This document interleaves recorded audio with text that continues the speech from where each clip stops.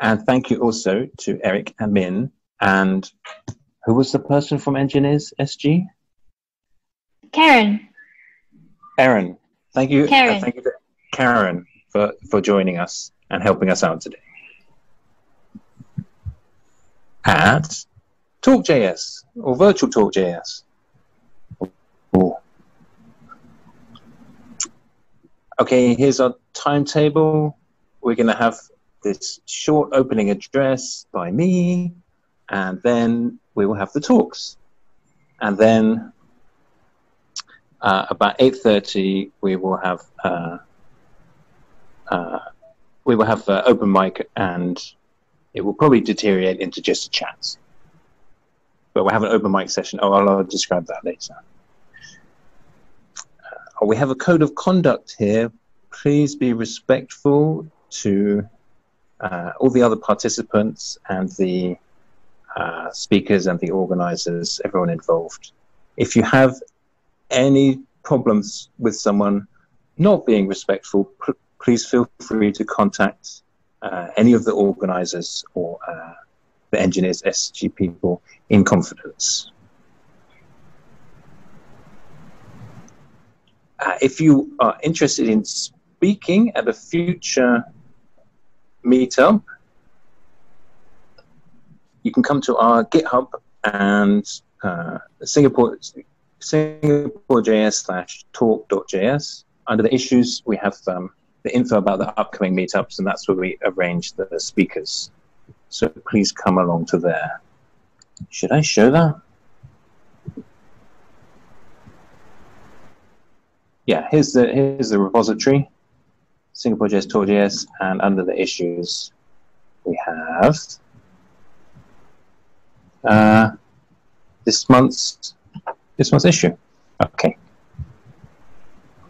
Uh, uh, this is where we arrange the speakers. So please come along here and say your proposal if you're interested in speaking. Oh dear, I'm on the wrong tab. okay. To find my way back.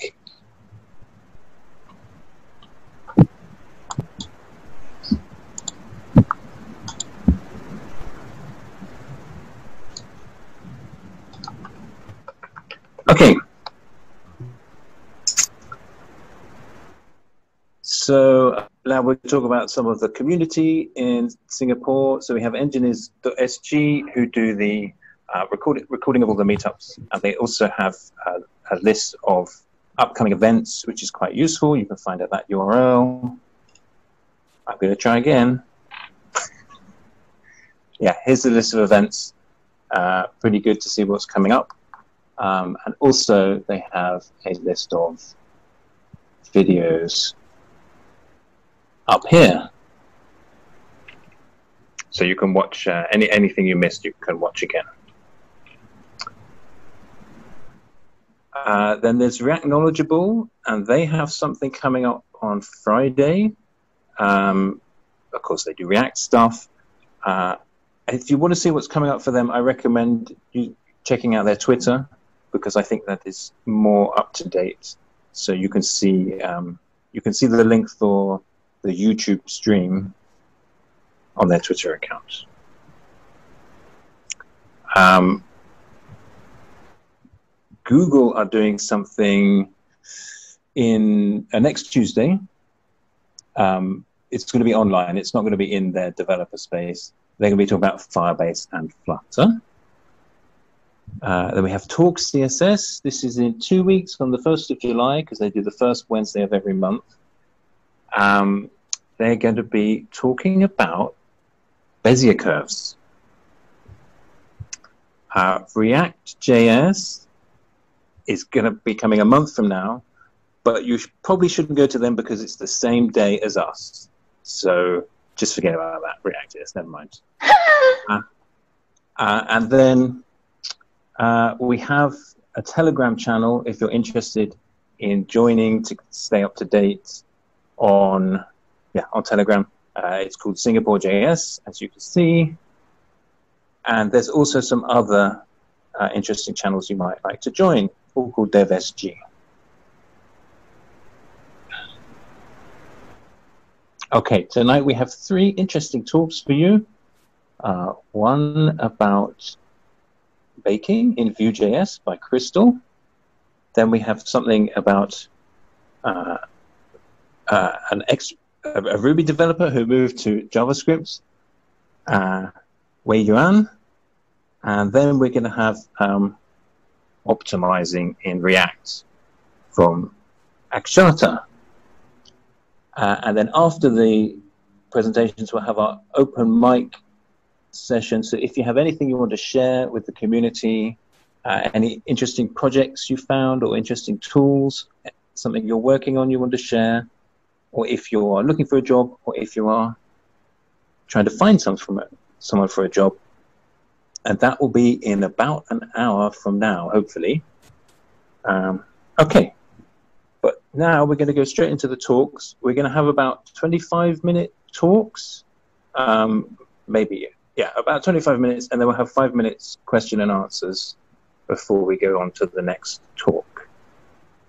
Uh, yeah, so Crystal. Okay, um, I'll go ahead and share my screen. Yep. I'm, I'm disconnecting. Okay, thank you. Thank you. Okay. Um, can everyone see my slides? Yes. I can see. Okay. Okay, so um, today my presentation is about Bread Talk, where I'll be talking about my experience of um, building an intuitive baking tool using the Vue.js technology. Yeah, so a little bit about me first. I'm currently an enterprise engineer at Facebook, and I have about close to five years of full stack engineering experience. And for my experience with JavaScript, it started with jQuery in my first company. Then I moved on to Angular 1, uh, Vue.js, and finally I'm doing React.js now in Facebook. And uh, baking is just one of my hobbies because I really enjoy the process and also the products that I get to eat. Yeah, okay. So um, so to let's get everyone started on the same foundation with some basic knowledge of baking bread. My love for baking bread actually comes from the fact that you need very simple ingredients. So we start we basically only need flour, water, salt, and a leavening agent. So a leavening agent can be either yeast or you can use a sourdough starter, which is made from flour and water and then fermented over time. It's basically like a um, cultivation of natural yeast. And next is uh, the second point is that you need minimal tools, and this means that you don't have to clean up a lot. Technically, you can really just use your hands in a bowl and just knead your dough and just bake it on a tray in the oven. And across all the different types of bread that I've baked, I found that they have one governing method, which is to first knead and make your dough, um, go through one period of bulk fermentation to get the gluten structures in your bread ready. And finally, you shape your dough. And after shaping, for example, um, shaping means like you put into some specific shape. Like you can see on my screen here, I created this like um, pig shaped bread for since this year was like the year of the pig. Yeah, so you shape it and you go through another final proof for about um, anytime between 30 minutes to one hour and finally you bake. So it's very simple five steps. Yeah but then again uh, you will find that there are many ways that you can complicate bread too. Firstly you can have enriched dough in which means in addition to the basic ingredients of flour salt and water and yeast you can add in other ingredients like eggs, milk, butter, and really make your bread really complicated to get different textures. And yeah, so I've discussed about the sourdough starter, um, trying to use a um, cultivated yeast instead of just active dry baker's yeast that is prepared to make the to make the bread rise faster. Yeah. And thirdly, we also have can uh, play with the hydration levels of the bread which means the percentage of water or liquids to the total amount of flour that you are using in your dough. And it really changes accordingly. So you can use like a mixture of milk and water, or you can, or it actually changes when you actually put in sourdough starter, since your sourdough starter itself is also a mixture of flour and water. And everything can get uh, really messy in a sense because you can actually use baker's percentages where um, you find a percentage of ingredients in your dough and use it to create the dough and the texture that you want for your bread. Yeah. So while uh, baking a lot during this circuit breaker period, right, I actually came across a few problems that I wish to solve. So firstly is with the hydration levels. Uh, one problem I had is if I want a specific hydration level, say 85%, how much water should I use with regards to the flour in my dough? So it's really quite simple math where you just take, uh, so for example, you have 100 grams of flour, then 85% just means that you use 85 grams of water. And you some because you are adding in a sourdough starter that has its own hydration as well, you will also need to account for that. Then secondly is with scaling recipes. A lot of recipes that I came across online, right, on YouTube or on blogs, they actually make very big portion. For example, they make like two 500 gram loaves, but for myself, because you know, when you're staying at home, your family is my family is not that big, and we don't eat a lot of bread. So I really just want to make a small like 300 gram loaves, and it takes a lot of scaling of different uh, different ingredients while still keeping certain constants like the hydration level of the bread in order to get the size that I want. And finally, um, with limiting ingredients, because I think a lot of people are baking, uh, baking during circuit breaker, right? So sometimes you have a shortage of ingredients at supermarkets. For example, you might have to substitute certain flours or for, uh, you might want to create a Hokkaido milk bread, but you don't have enough milk, milk left, and you you still have the other ingredients. So how can I scale that loaf of bread down in order to use up what I already have at home? The primary uh, preliminary solution I had was of, obviously to use Google Sheets. So um, in this case, you can see on columns E and F, I inputted the uh, the amount of ingredients that I need. And I basically use the formula to help me with the scaling and the hydration of the bread. But of course, that gets a bit tedious as well. And when you need to recalibrate different types of dough and so on. And then if we look back of what I talked about, the reason that I like baking bread was that it was meant to be easy. But now that we have so many factors coming in, right, it's no longer easy. And this is the solution that I came up with. So my idea was to build a very intuitive baking tool that uh, most uh, new ba- uh, new bakers can make use of because I know that during circuit breaker or uh, lockdown quarantine around the world, a lot of people are picking up baking and they might not have a lot of ideas on many of the many of the um, principles governing bread the two main features that I realized that were critical was one is the bread hydration control. So allowing you to change the hydration of your dough easily and helping to calculate the ratio of ingredients that you need. And secondly is to scale your recipes, maybe larger or smaller. Yeah. My idea was to also build a front end only single page app so that we can keep it lightweight and also means that I don't have to rent a server on say like a AWS backend server just for the calculations. And I could also leverage on GitHub pages to host my front end only single page app.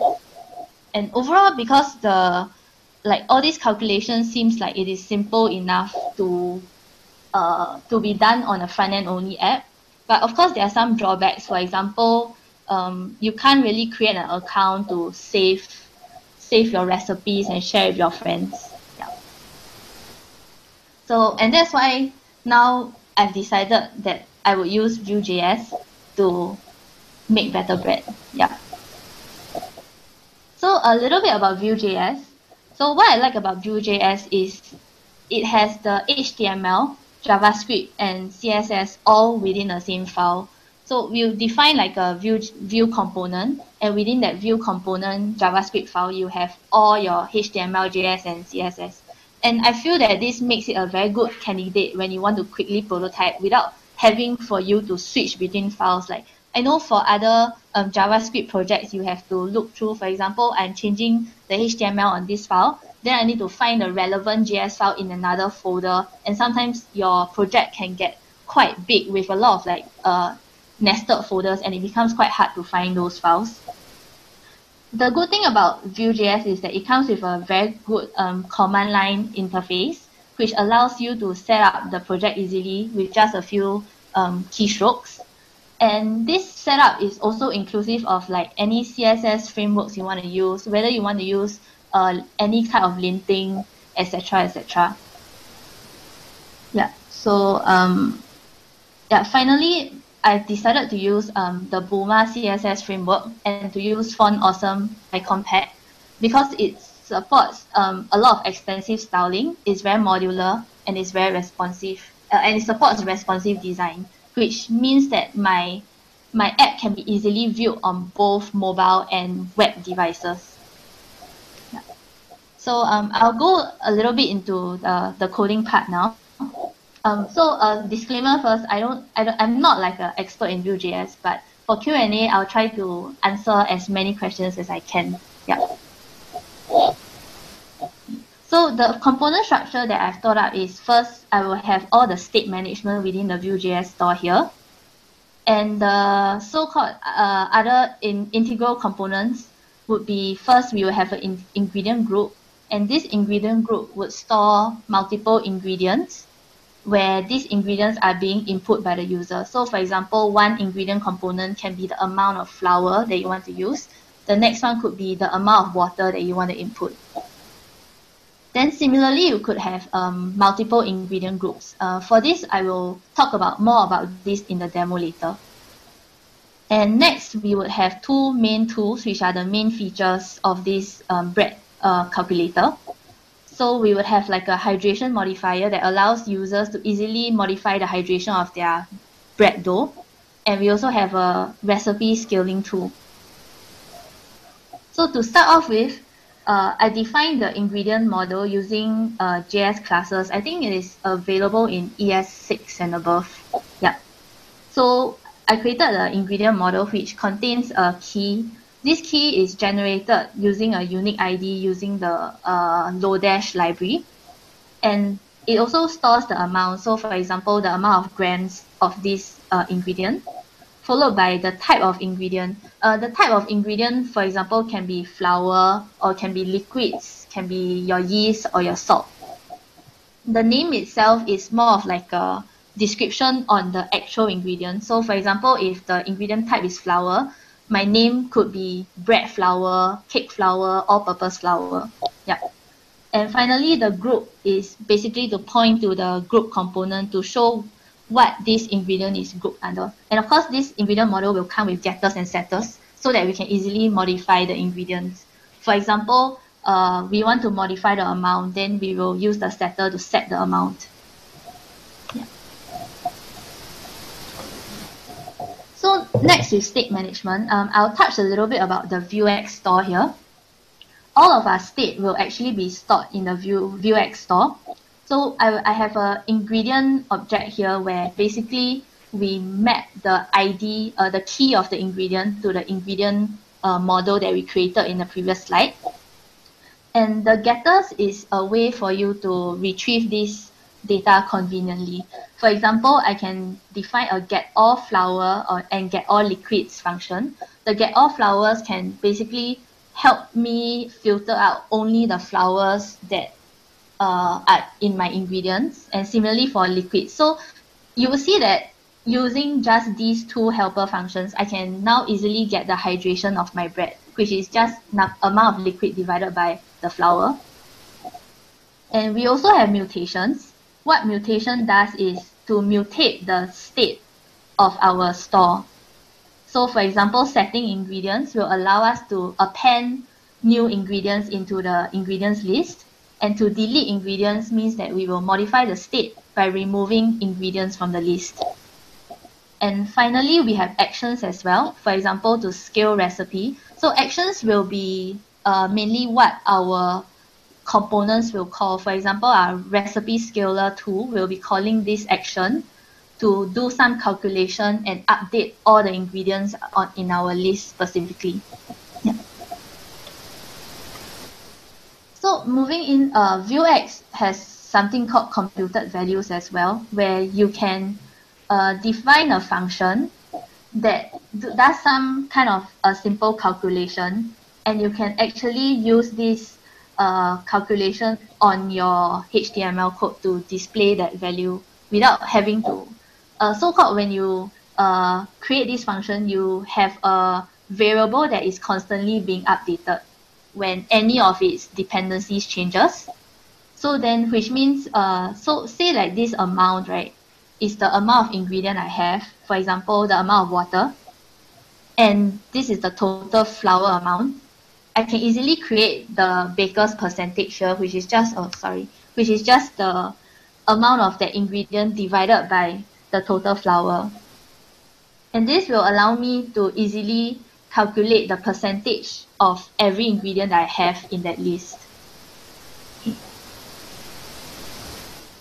okay and next, uh, another thing we can leverage on is with the use of our inputs for the computed values. So um, if you see here, right, when I talk about this uh, ingredient data dot amount, this is actually a computed value because it is reading it from the store. And for Vuex, we we read values from the Vuex store as a computed value. But at the same time, we will also need an amount input in our data because this value can actually change. And how I handle this change is, for example, when the user sets a value here, I, I created this computed variable where I put in the model, which means that when the input, uh, when the user inputs a value in the HTML, we will call this set function. And what this set function does is it will set the amount input uh, this variable while calling a uh, other functions here, which allows allows us to update the value. So this handle update will then take the the amount and set it back into the store. So this is actually an action that runs back into the store. So I think for this, uh, it is a little bit hard to understand just based on the code itself. Which so I will uh, when later on in the demo I will discuss it on the on the website itself. Okay, so uh, now moving on to the demo.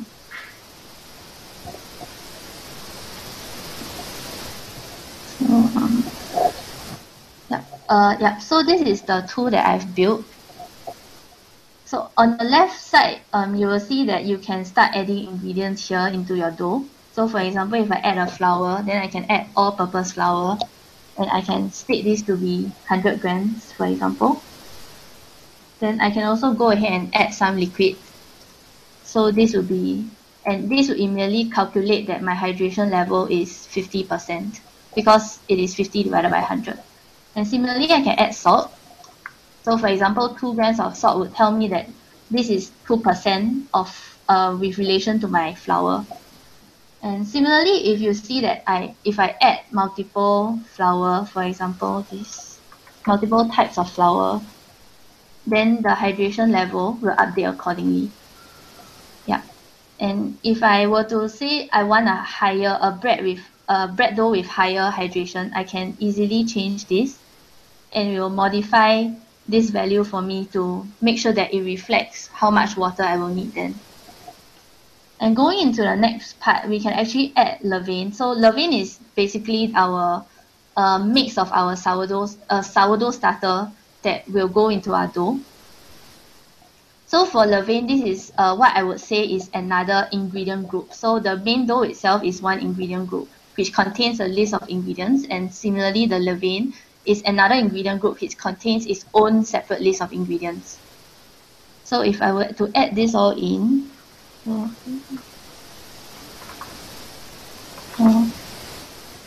yeah, so something like that, then you will realize that our hydration level is actually updated because of the amount of water that we have added in the levain plus the amount of water that is uh, implicitly in our sourdough starter. Yeah, and similarly, we can set this back to 85%. Oh, okay. I need to, I probably need to fix the decimal places, but yeah. So um, then it will update the amount of water that we need, for example, to 80%. Yeah.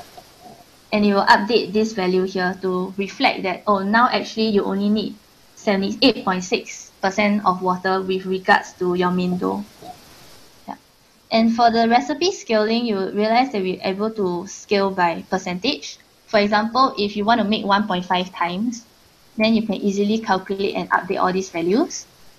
If say you want to scale by a certain ingredient, for example, uh, you want to scale by the amount of uh, all-purpose flour. Say the recipe asks for 150 grams, but you only have 100 grams. You can set this here, and it will make the change across to all the ingredients that you need. And similarly, for the if you want to scale by the total amount of flour that is in your main dough, in this case, which is the all-purpose and bread flour, we actually have 200 grams here. So you can update this, for example, you want to use 400 grams, you can update. So you would see that all-purpose plus bread flour is now 400 grams, and all the other values have changed as well. Yeah, so uh, back to the slides. Yeah, so um, I actually put this tool up on Reddit and uh, within an internal group within Facebook, and uh, this was the reception. So there's actually about half of the users that are returning. So I, I guess that's a good sign. It means that people actually want to use the tool. And some of the feedback that I've gotten across both uh, platforms is that some of them wish to share recipes using simple simple things like URL parameter. So we can encode the URL parameter using the ingredients that we have and we can share the recipe with our friends. And next is they wish to modify the percentages easily. For, for now, the only modifiable percentage is the hydration level and you can't really modify the the um, other percentages of ingredients. So the, the reason for that was I didn't really need that feature now and that's why I haven't implemented it yet. And next is for our sourdough starter. Uh, I actually made the assumption that the hydration will be 100%, which means a 1 is to 1 ratio of flour to water. But there could be other uh, bakers that want more control over this. For example, their sourdough starter could be like a 110% hydration. Then, of course, the amount of water that in would be in our total bread dough would change, and we need to reflect that. Finally, there were also uh, some feedback that they want me they want the tool to present the total dough weight so they can see whether this dough actually fits in their bread basket for baking or they want to know what is the amount of protein that is that dough that's in the dough. Because I don't know some some people like to bake keto bread and stuff like that. Yeah. Okay so um that's all that I have for today. So um yeah now I'll have some time for Q&A yeah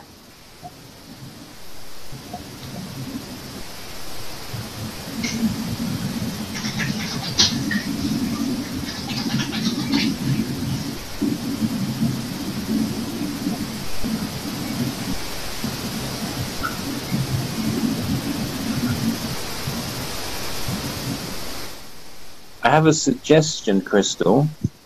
Uh, how about for beginners, you could put in a kind of limit. So if they put some percentages really badly, it could maybe show a warning saying, "Hey, your bread's going to be too dry or too sloppy, or it's not good." I think that was another um, feedback that I got, which was uh, usually the minimum amount of hydration for bread it ranges from 50% to maybe about 110% I've seen.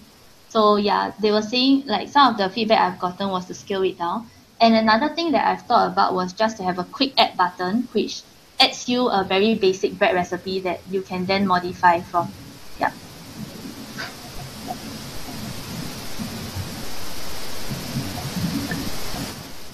There's been a couple of questions in the chat. One is, uh, can you show, share the URL for your? Okay, Let me share that.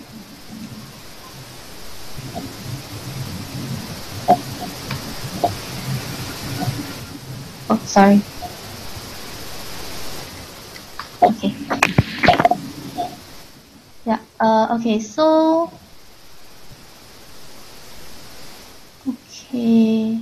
Uh. Okay. There's one question about frameworks. Uh, I think I would say that uh, it really depends on what you like as well. If you want to compare, say, Angular, React, and everything else, for me, I would say that Vue.js itself is very similar to Angular, but it is a lot more powerful and lightweight. Yeah. But then again, I've only used Angular one, so I cannot really vouch for the other versions. And for React, I would see I actually the part that I like about React is uh, that it is very object oriented. So if you are someone who likes the object oriented part of programming, like you want to define all your components as objects, then I would recommend yes go for React. Yeah. And for Vue.js, I would say it is very useful for quick prototyping of smaller apps. Yeah. Okay. Um, for William's question on uh, undo button, I think that's a good idea. Um, so uh, one way I can think of is to keep all the events within a stack and we can slowly undo it from the top of the stack.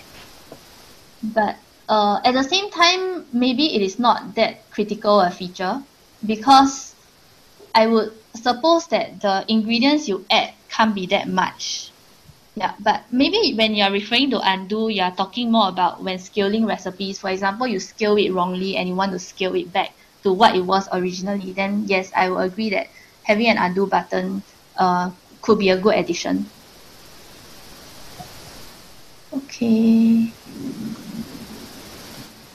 For Sylvester's question, uh, how will you create preset percentages for the hydration levels? Uh, for this, I think of it more as a clamp than a preset. For example, now we have 0% to 120% or I don't think there's a, I set a max limit on that. Yeah, so it would be good if we can clamp it in a way instead of uh, specifically saying it is preset. Okay, and Alson's question, how do you find working with the Bulma framework? Okay, for that, uh, I would say that I haven't really tried a lot of CSS frameworks. Yeah, so the one that I've tried a long time ago in the past was Foundation, and Foundation was a really entry level CSS framework for me. Um, for Bulma, I really like it because they one of the advantages is that they have a lot of helper classes you can assign. So it makes everything really modular. Like you can just turn a button to a certain color or invert the colors by adding specific helpers. And some of the helpers are also common across different components. So if you want to set like the button color, you can probably use the same helper class to set on your text and your backgrounds. Yeah. Okay, good to know that the current version of Angular is very OOP. Yeah, I haven't touched Angular for a long time. Okay.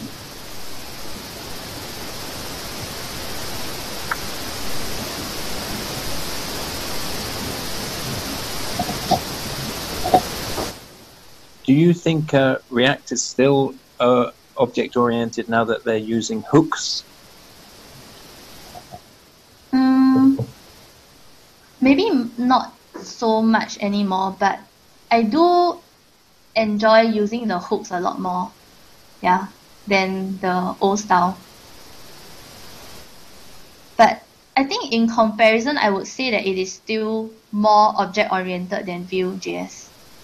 Okay. Mm. Interesting. I also like using the hooks. They feel a bit tidier.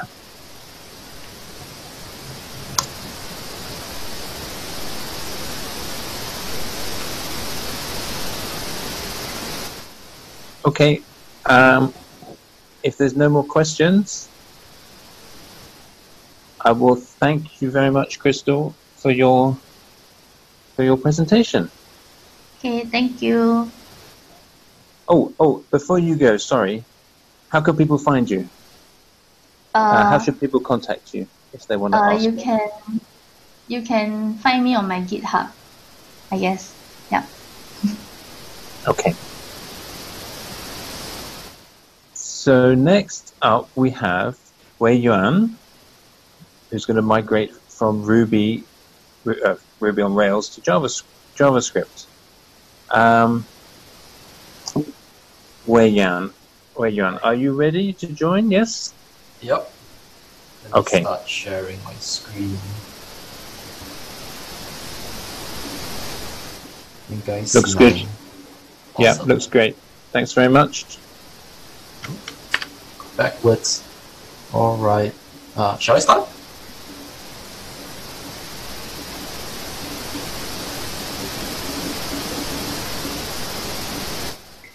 Yes, please. Yes, go oh, ahead. Okay.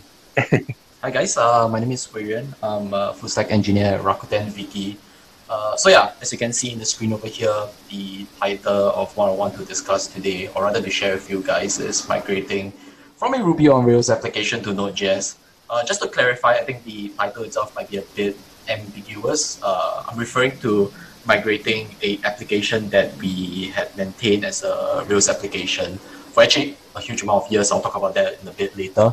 Uh, and actually looking at moving that to Node, uh, more specifically, we actually move it to uh, this framework which is called Next.js.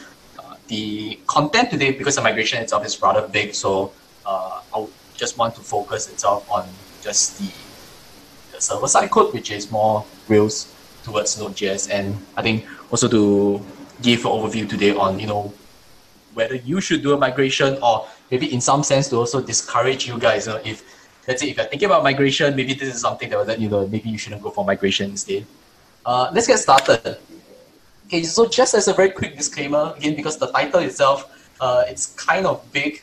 Uh, I just want to mention that the idea here is that it's not a silver bullet. Like I'm not going to be presenting like a solution where you flip a switch, the Rails application turns into a Node application. Um, in fact, there was a, there's still a lot of work to do. I mean, we did a lot of work at the start. Right now, our entire team, in fact, I would say like 90% of the team is on uh, 90, 80 to 90% of the team is on uh, doing this migration uh, currently right now, and we've done it for one year already. Uh, again, I'll give a bit more context into that later. And one important thing I want to stress over here is that I'm on neither camps. Uh, not saying I support Rails more than Node. I do I do love JavaScript more. It's easier to do create applications uh, using JavaScript frameworks. Uh, but yeah, I mean, it really depends on the use case. In our company, in Viki, in our organization, we do have use cases that where the Rails uh, stack itself suits uh, the use case better. In our case, we actually realized that you know what at a certain point the Rails application or the Rails stack itself worked quite well, but we have already moved on from there. Okay, so just to, I'll go a bit deeper on that as well. Uh, just to start off with the background before we did the entire migration. So we started our migration in 2019. So before uh, and on 2019 itself, the site, our main uh, flagship product for Viki, was run as a Ruby on Rails application. Uh, you can see over here, this is the first date, the first commit of the that were found within the repository. So 2012, at the point when we migrated, that's around, I would say, seven, close to eight years.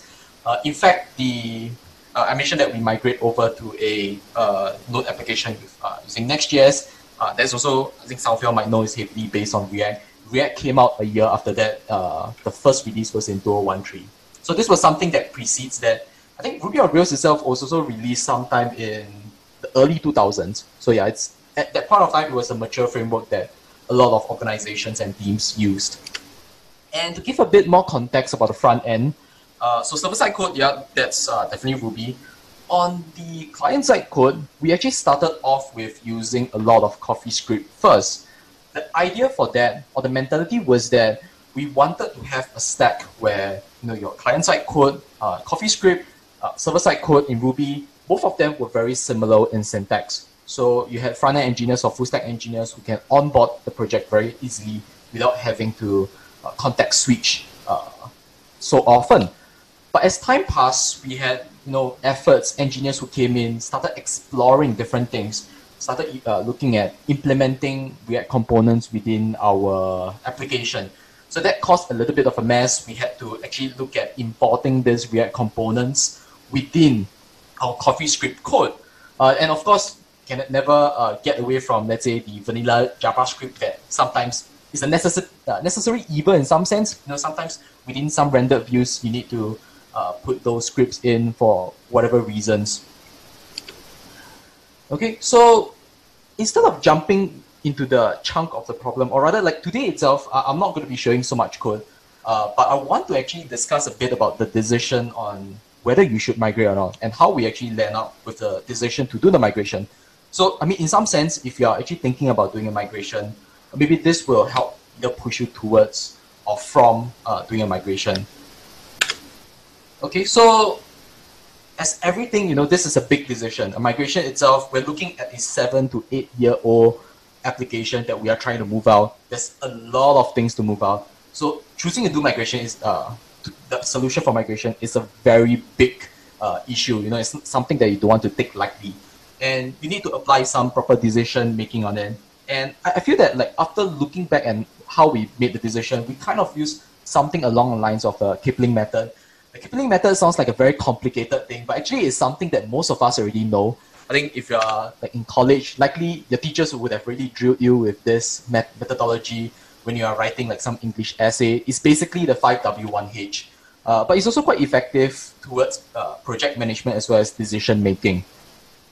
So let's try to apply this methodology towards you know breaking down this decision in identifying our problem statement and should we go for migration. Okay, so let's start off with a uh, okay. So just to break down into the common uh, 5W and 1H that I want to look at.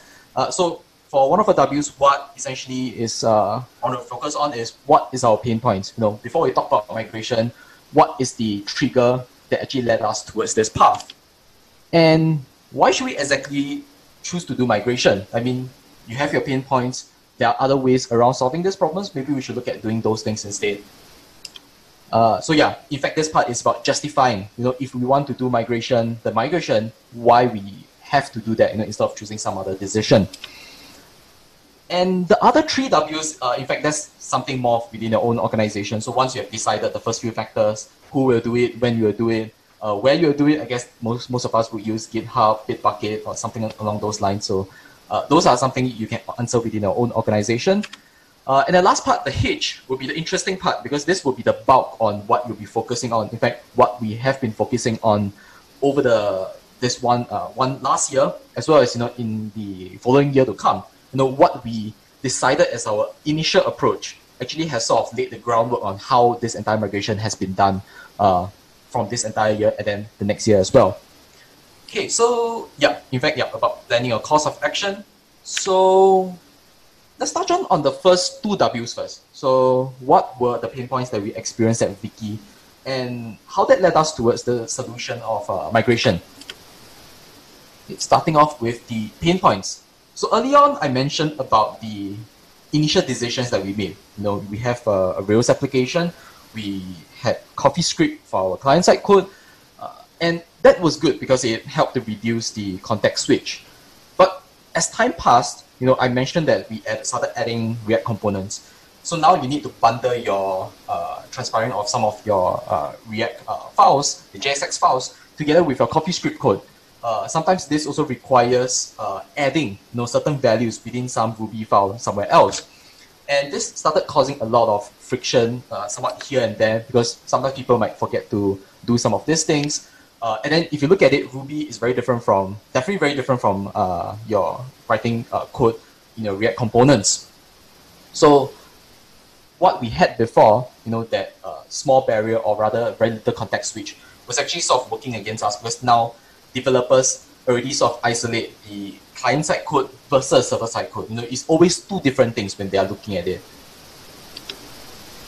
Okay, and that's our the first point. Actually, I want to emphasize one more thing, which is that the first point itself is sort of related to a human-based problem. I think this one is kind of like my own personal uh, opinion, which is I think for any big problems that you want to solve, usually you want to see first if it's related to the human because the uh, developer happiness is so important. You know, that's something that you want to resolve. If all your developers are not happy with the current decision on how on your current stack and how you are running it, I mean, essentially, it's going to lead to a failure anyway.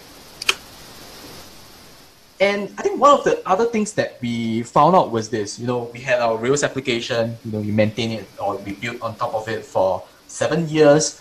Uh, we started finding out that you know it wasn't the best environment for us to build a kick-ass front-end application. You know, we are talking about modern principles like having an isomorphic application, a single page application for optimizing performance. I mean, we, we did try out something along the lines of using PJAX uh, on some of our pages, but it wasn't scalable. You know, we could only do it on one single page. The code itself looks very messy. We couldn't move that, you know, ideology across. In fact, that was only on one single page. It wasn't across, uh, it wasn't rolled out across all our different views in the website. And I think one of the conscious points that uh, points that we sort of came towards realize, realizing towards was that if you look at the initial first two points, it's it's the damage that they can cause grows as as the time passes. You know, if we choose to not to do uh, if we choose not to do migration now, we do it three years later. You know, newer principles are going to come in place, newer ways of optimizing the front end. Uh, uh, your client side code comes in no, these are things that we might not be able to uh, do using our current framework. You know, we did attempt using uh, Webpack a few years before, but it because of our CoffeeScript uh, code, we weren't able to make that transition fully. So because of difficulties like that, we decided, we I mean, we tried out a few solutions over the few years, uh, but we slowly realized that, yeah, migration seems like the only way to go. Okay, so explaining a little bit about why we end up with the uh, decision of doing the migration. Uh, the idea is this: the previously I talked about the context switch uh, for between the Ruby code towards the CoffeeScript code, and we wanted to look at moving to a JavaScript application where, uh, as I mentioned, isomorphic application, the server-side code uh, is sort of mixed with the client-side code. There shouldn't be this huge uh, context switch or jump uh, for the developer, you know, whenever they need to uh, write uh, or create some features, they shouldn't have to have this huge barrier to jump across every single time when they're building these features. And very importantly, again, optimizing the human factor. You want people, you want the developers to be happy because if they're satisfied with the current code base they're dealing with, definitely they'll be able to give, uh, to create a better product overall. Okay, and again, the counterpoint to uh, the earlier problem faced, which is we want to be able to uh, embrace newer technologies, newer principles. In fact, using a framework that supports uh, supported as a single page application using Next.js, being able to incorporate principles like lazy loading you know, to allow us to have that gigantic uh, shift over from a legacy Rails application over to something that was more uh, reminiscent of uh, front-end applications, performance front-end applications that you can see in today's market. And I think one of the other important points that I want to emphasize was that uh, it wasn't just about finding, you know, the justification, the small points uh, or big points, you know, towards uh, the, the problems that we identified. I think one of the other things is we actively experimented in the years before. I mean, we had this Rails application, uh, we stick with it, we tried different, like, smaller solution to fix the problems that I mentioned. And along those time, along that period, we looked at uh, experimenting on other solutions. Uh, I think last year we shared about our effort in rewriting Soompi. We changed from a uh, PHP application, it was in WordPress, uh, over to a, uh, a, single page application created using React Router. And then around a year before, a year and a half before, in fact, well, half a year after we did our project with Soompi, uh, our manager came up with the idea that you know Next.js seems to be uh, uh, picking up traction. A lot of companies are using it. Let's try it for another small project on the side. Uh, and then the developer feedback seems to be pretty positive about the uh, writing uh, the application using Next.js. So this sort of helped to push the direction you know, towards, okay, we want to do this migration. We've found a lot of success with these uh, different frameworks. Let's try to use these frameworks to solve the problem that we see over here. And this is something I also would encourage uh, within your own organization or within your own teams, uh, if you can afford to uh, experiment with smaller projects, you want to do that, you know, before you make the big decision, this huge leap to do the migration. Okay, so I hope I've sort of convinced you on why, uh, you know, what our pain points and you know why we had to go with a solution of migration. Uh, I think I wouldn't just want to end that off uh, in that sense, like at a very high level. Uh, but I want to talk about uh, some of the interesting things that I encountered you know, along the lines of uh, migrating from a Rails application to Node and this one is more on the backend slash DevOps portion. Uh, again, the this is not a silver bullet. I think some of the well, okay, I'll, I'll just jump to the solution, uh, or not solution, the problems, and let you guys see what it is. Okay, so first off, I just want to mention. Okay, so now that we've decided uh, on the approach to do the migration, uh, where do you start first? Uh, of course, you must always go back to your team, uh, get everyone in the same room. That's what we did at the start. Uh, try to see what's everyone's opinion on how we can do this, and the final decision uh, that was made by our manager at the end was let's support both applications together at the same time. You know, instead of just doing this migration in one big leap, where you take all the uh, rendered uh, the products, the features within the Rails application over to the Node application, why not support both the Rails application and the Node uh, application at the same time, and look at slowly moving the features across. Okay, so that in some sense we can also seek to sort of understand with analytics whether the Node application is actually performing better versus a Rails application. Okay, and to do this, the you can use what is called uh, the at the point of time when we did this, the name of or rather the methodology itself wasn't actually known to us, uh, but this was something that I picked up recently, uh, which I found that actually yeah this was exactly what we did.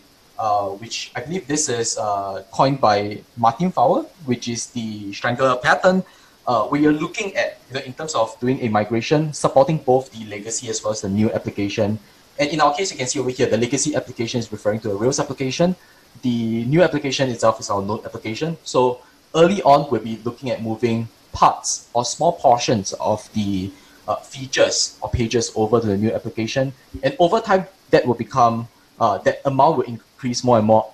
And eventually, you should get the uh, your Node application where you have taken over all the new features, and then you can look at just removing the any uh, other resources that you have put in to maintain you know this entire pattern.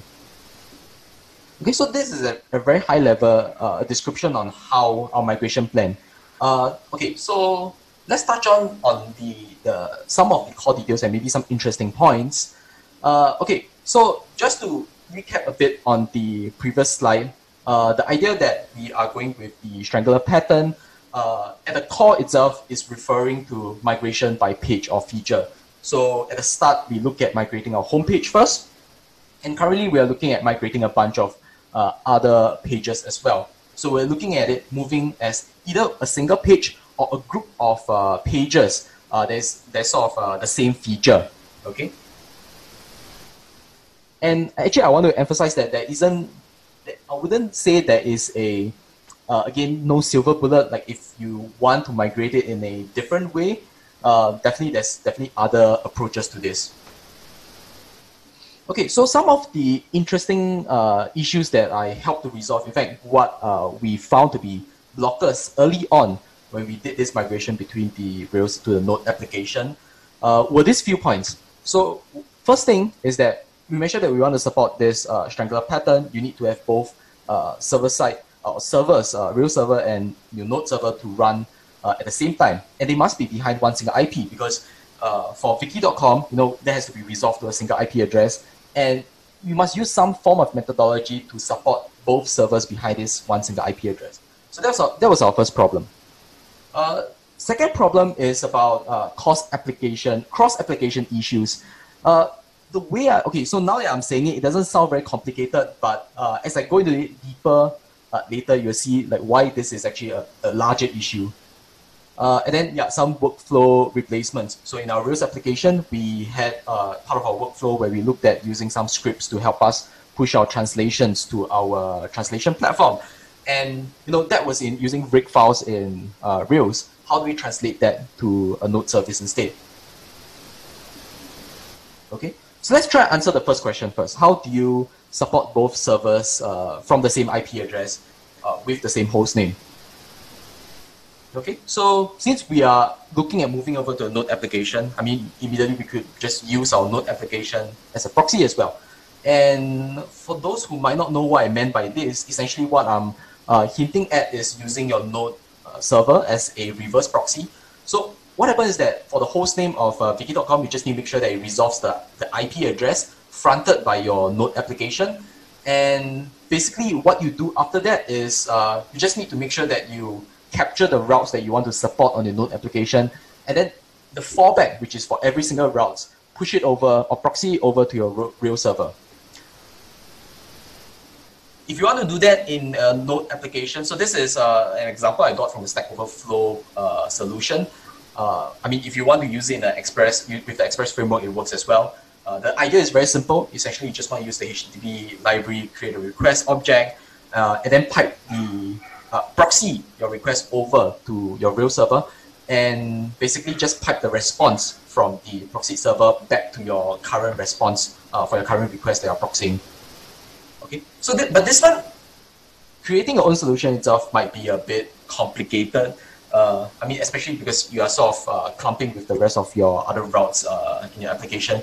Uh, maybe let's say, uh, I mean, is there a library that can do something like this? You look around, there's actually a node module that you can use. So instead of creating the proxy code yourself, you can just use this library called node HTTP proxy. Okay, so examining this solution, uh, it does solve the problem, but at the earlier part when we first thought about this, I mean, it looks like a suitable solution, but uh, looking at it from the long term, uh, we felt that it wasn't a very good solution, even though you know this was something that we can couple within our node uh, server. Uh, but the idea is that the we're coupling uh, two different purposes together uh, instead of just focusing on the one node application which it's only supposed to support the features that we that we have migrated onto, we have covered additional purposes on it. Uh, and this also conflicts with part of our say is the Next.js framework where I mean they allow you to create that custom server.js, uh, but there's also like a, sort of a preferable way where you can choose to do without that altogether. And to convince you with like on this coupling situation, right? The idea here is this no, all you need is for your node server to go down and all your proxy requests that are currently uh, in the air or uh, currently in the wire or uh, let's say, yeah, the moment your node server crash, your Rails uh, service is sort of uncontactable as well because your node server is essentially your reverse proxy here. Uh, and then for those who have uh, coded in uh, JavaScript, you know that like for node server, all you need is one single error for that single process application to crash. So that might not be the most ideal situation.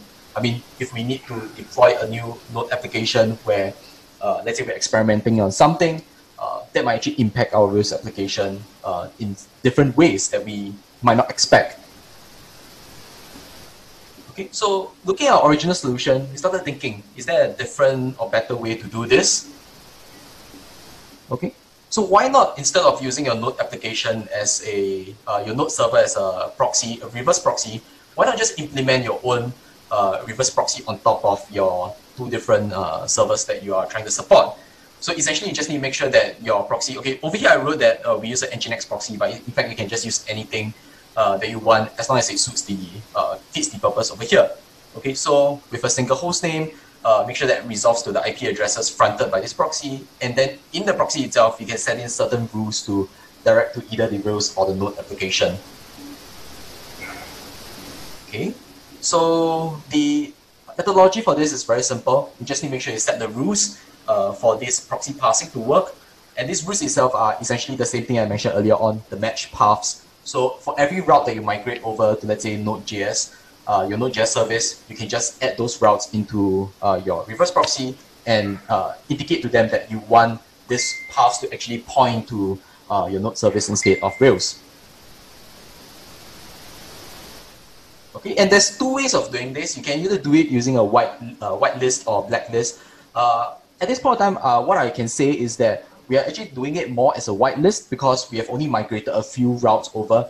Uh, so whitelist here is referring to that uh, we just want to whitelist a couple of different paths uh, that we want to redirect to the node application. But let's say towards the point where we have migrated 90% of all our paths over or features over to our node application, we might actually switch that over and turn it into a blacklist where we can say, okay, for the remaining 10% of all the routes that we or paths that we have not migrated or features that we have not migrated, send them over to the Rails application instead. Okay, so this will help to make things more manageable as we do the migration. Okay, so that solves the problem about having two uh, different applications or servers uh, coexisting behind one single IP address. Okay, so to the second problem, or what I would say the more interesting problem uh, that I can share. Okay, uh, I just want to start off first by addressing the uh, third point that I mentioned earlier on, which is for workflows. If you are looking at migrating from a Rails application to a Node application, you have uh, rake files, you might just want to use the npm run script instead. Uh, it's a very clear-cut solution. Uh, basically, your rake files are like uh, the scripts that you can run on your command line. Uh, npm run scripts are essentially the same thing. Okay, so towards the, uh, what I'll say is, uh, again, something that I'm very excited to share, which is like sort of the interesting problem, one of the interesting problems that we faced when we did the migration, as well as it was kind of a big blocker uh, that was sort of blocking us from actually doing the migration altogether. Uh, and let me explain more about this. Okay, so the problem statement is essentially this. We have our original Rails application. We allow users to log in using that Rails application. And you know, with the login action, you have your user sessions. Now, how do you be how are you able to communicate this session over to your other node application? You how can you allow this user session to coexist within two uh, servers at the same time? Uh, I think for some of us, the solution might be quite obvious uh, if you are already familiar with uh, certain load balancing concepts uh, or supporting uh, the user sessions across, let's say, multiple regions, different classes of your uh, supporting the same server, where you just need to make sure that, uh, rather, one solution is actually to uh, ensure that the session is stored on the client side using cookies.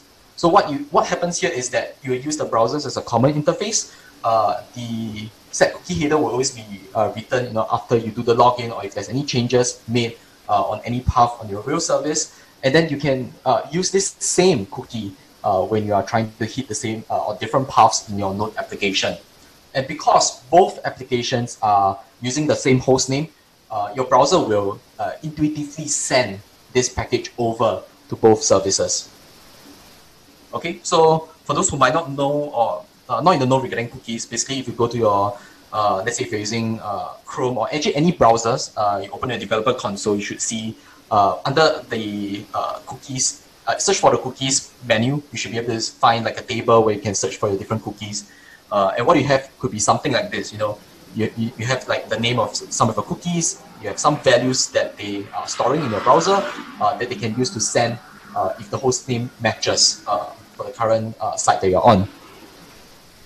Okay, so that sounds like a very simple solution. So what's so complex about that? Uh, okay, so let's try and think, uh, or rather walk towards uh, that complicated portion I'm hinting towards. Okay, so firstly, let's try and answer the question. So in Rails, we have our cookie stores that helps you create your uh, cookies uh, that you can send back, uh, cookies for sessions that you can send to the uh, browser. Uh, how about in Node? How do you do that? I think very clear cut, some of us may already know about this, which is to use libraries like cookie session to help you create that user session. Okay, but here's where the situation spirals down to a tailspin, which is that if you look at using libraries that, uh, like for example, like cookie session, right? The issue is that they only sign the session value. But you know, like what's exactly the problem about that? Okay, if you look at the Rails application, in our case specifically, a Rails 4 application, the cookie session is both encrypted and signed. So you, you can already see from here that there's a big problem. You have a Rails application that encrypts and signs a cookie, pass it to a browser. You know, let's say if you use the browser and try to hit the Node application, your Node application, let's say if you're using something like the cookie session, they would have no idea on how to pass that, that cookie value because it's encrypted, you know, using some logic within the Rails application. So how exactly do you, how exactly can you solve this problem? Okay, can we find some other libraries to solve this problem? Uh, turns out you can, but this was something that we actually didn't went with. So there's actually this library called Rails Session Decoder. Uh, there's actually one single maintainer for this library. And the scary part about this is that uh, there's actually not much people maintaining it. Uh, and again, because it was only uh, maintained by one single person, there's not much people using it. Uh, essentially, what this would mean is that if we want to use this for a flagship product, you know, for Viki.com, we need to actually get people to at least audit the solution and make sure it works. But if you're going to go to the distance of, you know, checking other people's code, right? Uh, why not we write that solution instead? And actually, that was what we went with. It's a bit of a nuclear option, but it has worked for us pretty well.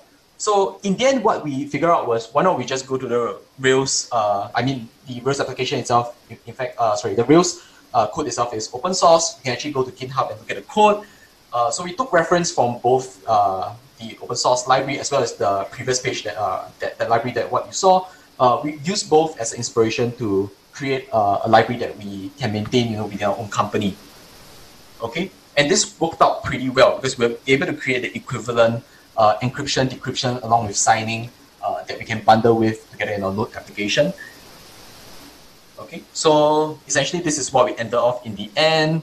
Uh, it's actually very simple. If you are looking at doing something similar to this, uh, 1,200 lines, this was around two days worth of work, maybe one additional day worth of researching to make it work. Yeah. And uh, okay, before I end off, I just want to mention like for those uh, if if you have a Rails application, you're looking at moving it uh, over to Node. Uh, one thing I'll mention is if you are on the version before Rails 4, like Rails 3 or Rails 2, uh, what are you waiting for? You should update. There's probably a lot of security flaws there. If you're on Rails 4, uh, you might want to look at upgrading to Rails 4.1 first. Uh, because what happened is that before Rails 4.1, they actually used a different way of serializing the uh, user session. It was actually not in JSON before, but approaching 4.1, they changed it to a hybrid approach, or not hybrid approach, but uh, we, it's a, it was a configuration where you can choose between the old serialization pattern and the new, uh, the JSON serialization. And you can also choose a option called hybrid, which is essentially uh, if you have sessions uh, who are using the old serialization pattern, after hitting your website for one time, they the uh, Rails 4.1 itself, uh, if you set the option, they will convert it to the JSON serialization.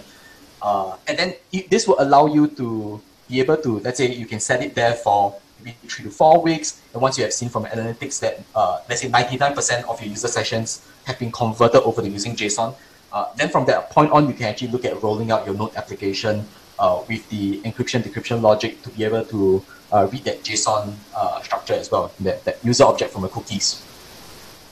Okay, so yeah, essentially it's something like this uh, when you're configuring in Rails. Uh, I guess other tips, we actually went a bit wild with the library that we wrote. Uh, because we in our company we still had people who wrote uh, who, who are still developing in Rails, and one of our pain points was actually not being able to debug from our, or rather it wasn't very easy to uh, decrypt your user sessions uh, when you are running in production. So we decided why not we just create uh, something uh, additional, you know, since we already have the decryption encryption logic, we wrote it as a standalone library. Let's use the uh, npm, um, create it as an npm binary and allow anyone to just come in, install and use it for debugging both the node as well as the uh, their Rails application. Okay, so I'm reaching the end. So I guess the conclusion I have here is that I'm, actually leaving you with kind of the very ambiguous state uh, whether you should do the migration or not. I think that in the end lies with the use case in your company, but I hope I've shined some light into whether you should do so, as well as some of the pain points, uh, like this user session thing was bugging us at the start, you know, when we discovered it, but we managed to solve it at the end. Uh, but I think kind of like a romantic statement that I want to state, uh, or maybe I guess I want to share is like you, even within this migration, you want to look at making long-term solutions. Uh, but I think it's important to also be self-conscious and like see that actually this thing probably won't last forever. I mean, if you look at a Rails application, we uh, it was likely created with that mentality, but in the end, uh, it had to be migrated. Uh, likely, you know, currently what we are doing, a few years later, there'll be a newer piece of technology. Maybe we'll have to do a migration again. But having said that, the decisions made by the earlier uh, creators of the Rails application actually did it quite well, where we could make it last for seven years. You know, seven years is an incredibly long time. And this is something of an inspiration. That's something that we can use uh, towards, you know, now that we're doing our migration, having it survive for maybe seven years or more in the future. Uh, yeah, so with that, I've come to the end. Uh, if you guys are interested in reaching out to me, there's there's few links over here, and that's it. Thanks for listening.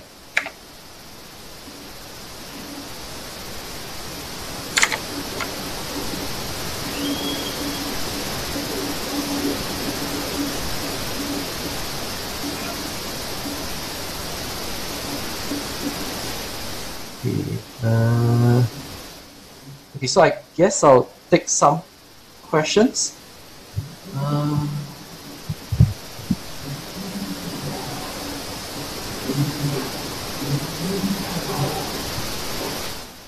okay, so I think there's one question regarding uh, rationale on decision to migrate. Uh, have do you have any thoughts on Hey.com and how they went for the almost no JS route? I have not seen this before, so I'm gonna take a quick look at that. Uh, okay, let me stop sharing my screen. But I'm gonna take a quick look at that and uh, see if I can answer this directly.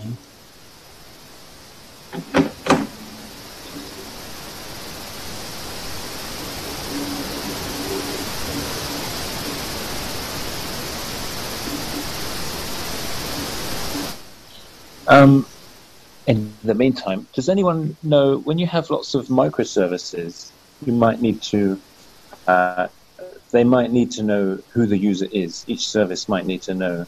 Um, in those kind of architectures, how do they, how does each service uh, find out who the user is?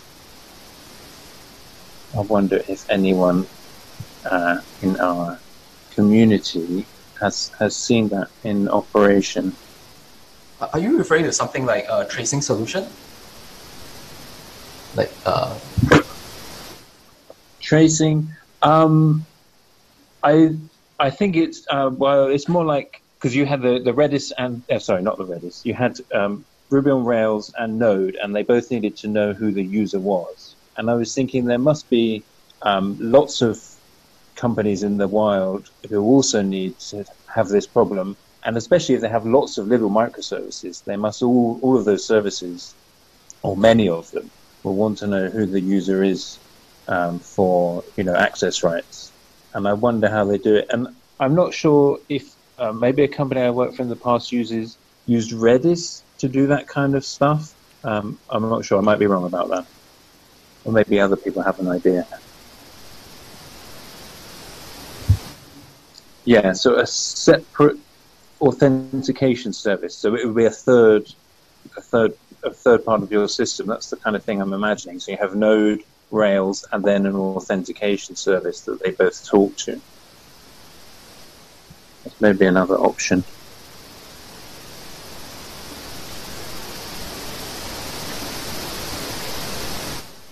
Somebody says if you use Kubernetes, you can run an authentication service as a sidecar. somebody has said you can use a saga pattern with an orchestrator.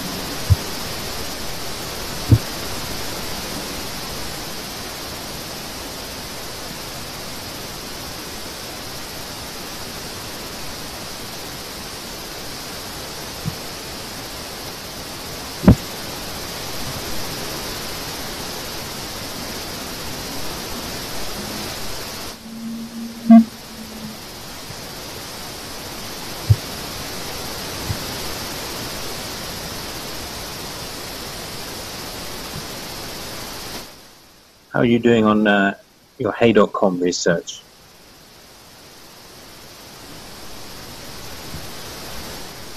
Um, looking at it now. I think it probably would be better if I can answer this offline after looking at it. Okay. Do we have any other questions from people?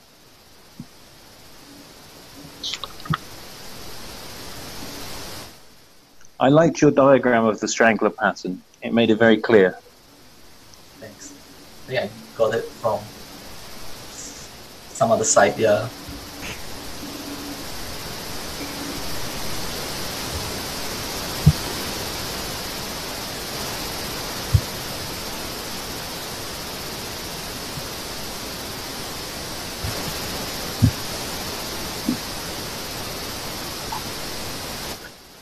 Okay.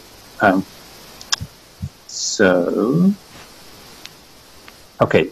Uh, if you have any more questions, if people have any more questions, how should they contact you? Uh, I think on LinkedIn directly. That should work. Okay, LinkedIn. Weiyuan Liu, is that right? Yes. Okay, thank you very much. Thank you. Um, let's move on to Akshata's talk about uh, performance in React. Yep. Should I? Let me share my screen. Uh, are you able to see it? Yes, looks good. Okay, great. So, hey everyone, thanks for sticking around for the last talk of this evening. And today we'll be reacting faster by building for performance in React. So, firstly, a bit about myself. My name is Akshata. I'm a full stack engineer at Viki, same company as Weiyuan before me. And before Viki, I did research at NUS for three years. And a long time back, I was actually an architect for buildings. But then I realized that my passion was coding. I went on to free code, free code camp, taught myself how to code, and switched to doing software full time. So, performance. Why performance? Well, obviously, nobody likes a slow website. But to make it official, faster websites means better user experience. Better user experience means happier customers, and happier customers means more money. And I don't need to ask if people like money. So there's an unquestionable correlation between web performance and revenue. And to put that into perspective, I have this great visualization from Dexecure.com, which says that a site that makes 100K a day could potentially lose 2.5 millions in a year by just a one second delay in their page load time. To re-emphasize this further, Google actually has an impact calculator and this provides a direct conversion from site performance to financial impact that you might bear. So now that we've established the importance of having a fast website for our paychecks, what do we do about it? Well, mostly nothing, because most of us would be using a framework like React, which is fast by default. And everything in life is nice, everything will be fast, your app is as smooth as this Ferrari, till it's not. Please, Viki, try to fix issues with the chat lag time tomorrow. You get this feedback from a user, and this is you as the developer praying to React gods. So, for a flashback and a little bit more context, we at Viki launched a new feature called Watch Party a couple of weeks back. And a watch party is a shared co viewing experience, something like YouTube Live, where people come together to watch K drama in real time and share their passion, connect with each other over live chat. This is what it looks like. There's a video playing on the left, there's a live chat on the right. And the UI is simple, but there's a lot going on in terms of processing on this page. So, as you can see, there's a video playing. In a watch party, there could be 800 to 1400 users all chatting concurrently. Sometimes the message frequency goes up to even 5 per second. And in a watch party that's about an hour and a half long, there may be 10,000 messages, if not more. The feedback that we saw previously was for the chat feature on this page. So we embarked on this journey to try and optimize our watch party. The first thing was figuring out the tools. And the first tool is the performance tab that, that I'm sure all of us have seen in the Chrome Dev Tools. And the next one is the React Developer Tools, which is available as a Chrome extension.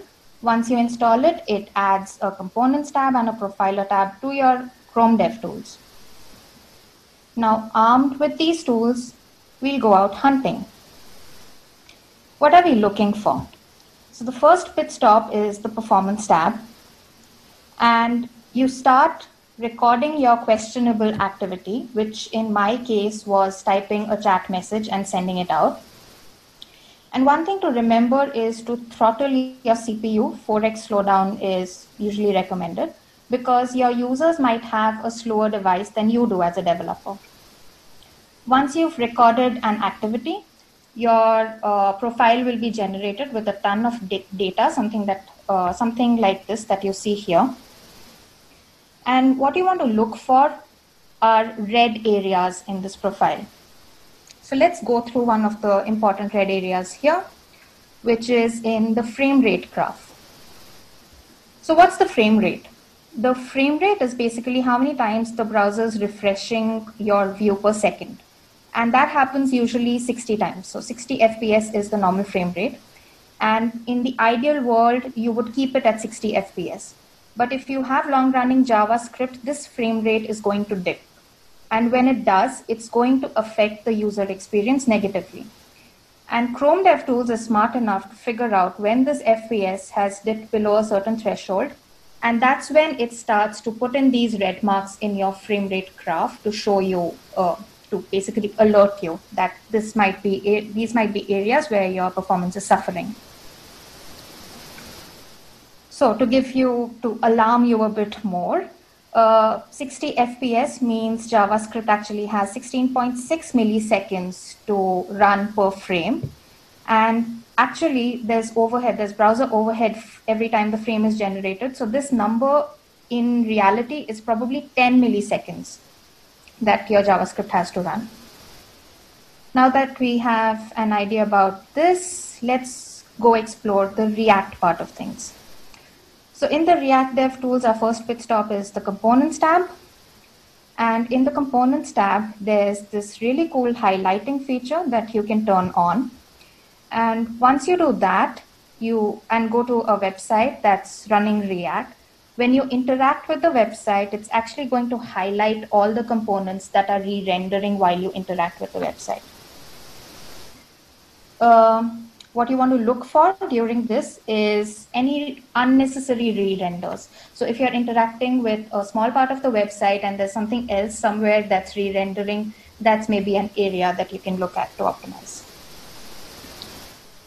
The next tab is the Profiler tab. It works similar to the Performance tab where you're going to record an activity.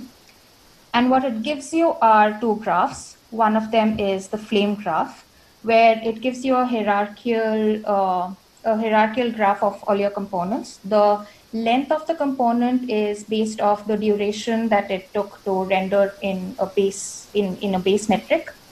And the more important thing here is the color because the color represents whether this component took a longer time to render or rendered faster than the previous render. So you want your component to always render faster than the first time when it rendered, right? So if it's green or bluish green, like it's shown here, we are safe. But if you go to the rank chart, you see that I have a component, component that's yellow, which means that that component is taking significantly longer to render than the previous time. The rank chart is slightly different from the flame, flame graph in the sense that it organizes your components uh, in decreasing order of the render duration that they took. So We've gone through the tools. We now have our goals. Basically, we want no reds in our performance report, performance tab report, and we want everything blue and green in our React profiler dev reports. How do we get to that? So everything is about avoiding extra work. And in context of React, that means avoid extra reconciliation. And what's reconciliation? So those of us who work in React, we know that React actually generates works off a virtual DOM. And what it's doing is that every time you have a component, it calls the render function for that component, which generates a tree. It takes the older tree that it has for the component, compares it to this new tree, which is called diffing. And then if the component change, changes, changed, only then does it go in to uh, commit that to the DOM. And it does this process for all its children also. It recurses on the children of this render of this changed component. So the, the takeaway from this is there are two costs to React. One is rendering, the other is committing. Committing is changing the DOM, which React is smart about. It only change updates the DOM if something changes. But rendering is when React goes and calls the render function for all of these changed components to try and diff out the trees. And this is where we can extract extra, extra performance optimizations when you're working with React. So let's go on to the first main idea, which is to co-locate state. And the idea is to push down this reconciliation, this comparing of trees, as further down into the tree as possible. Give you an example, I have this uh, I have this chat component here, which was the initial write of that. And if you see when I'm typing something, the whole chat component is re-rendering. This is because when I type something, I'm updating the state for the entire chat component and React is trying to reconcile everything that exists inside it. Now I went ahead and refactored this to, extra to extract only the input into its own component that has its own state. And now when I type, only that chat input changes. What does it mean in terms of performance? Well, initially when I was chatting, it was 30, 31.6 milliseconds to render this whole thing. And then after my refactor, it went down to 1.5 milliseconds as render duration. That's pretty good let's explore the next peak that we find. And the next peak that I had was when the chat, the a newly sent chat message was being inserted into all of the chat messages array that I had.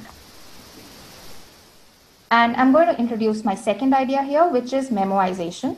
Memo memoization is a fancy word for caching. And to look at, uh, let's look at the React uh, render tree again. So say C1 component changes, what React is going to do is it's going to go down to C2 and C3, call the render functions for those components and try to diff their trees out to see if something changed in the DOM. But React also provides a should component update lifecycle method.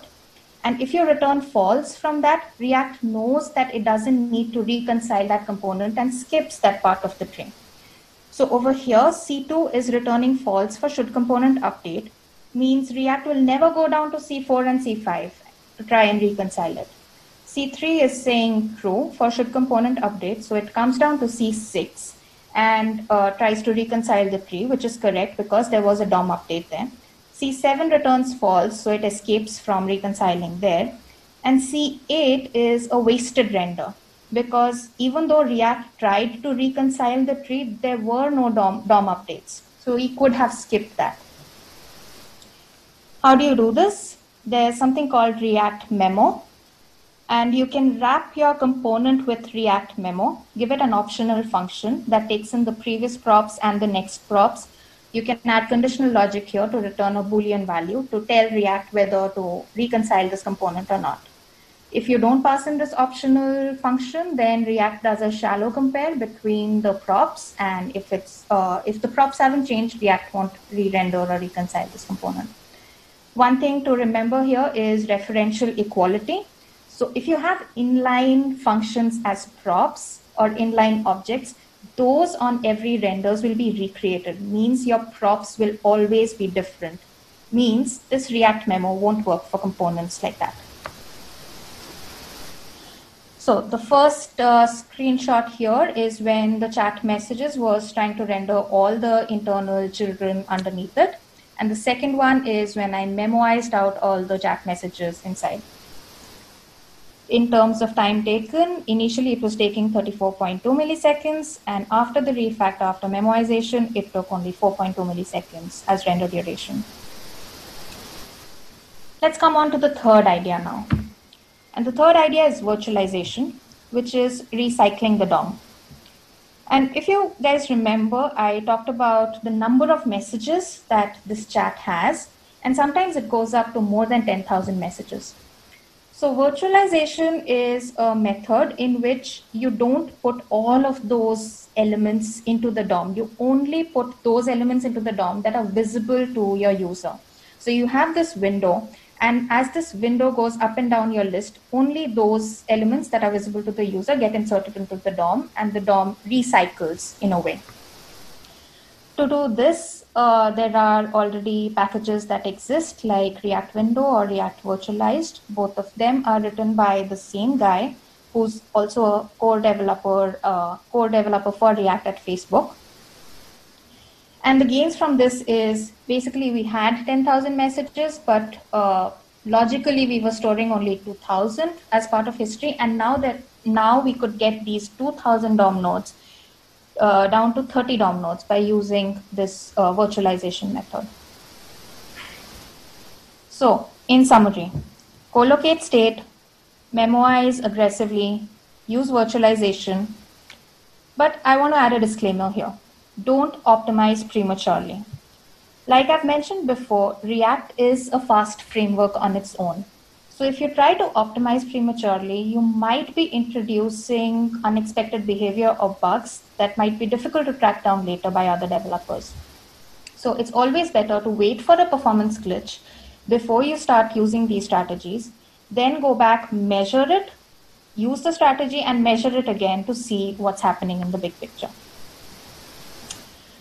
Here's a list of resources if somebody wants to dig down deeper. It's mostly React.js performance docs and uh, Dodds' blog. And thank you, and I'll be happy to take any questions if there are any.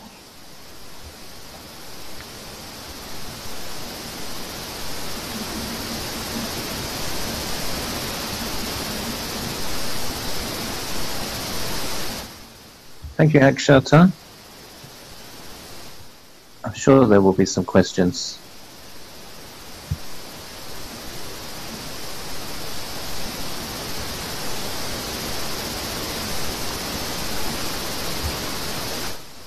Um, I am wondering how React Window and React Virtualized work uh, with the height of elements.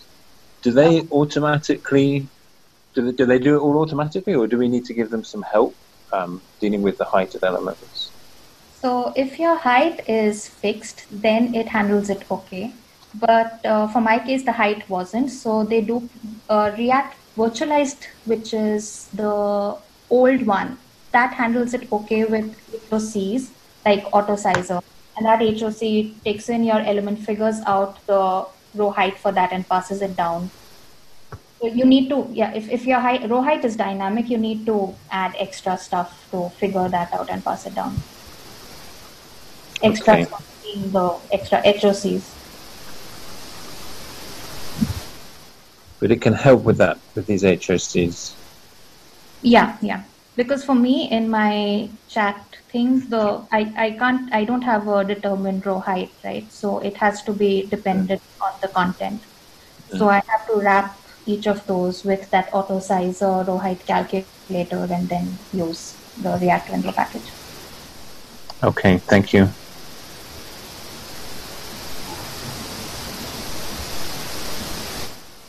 Mm, pre, uh, should I should I just answer the questions and yes, please go ahead.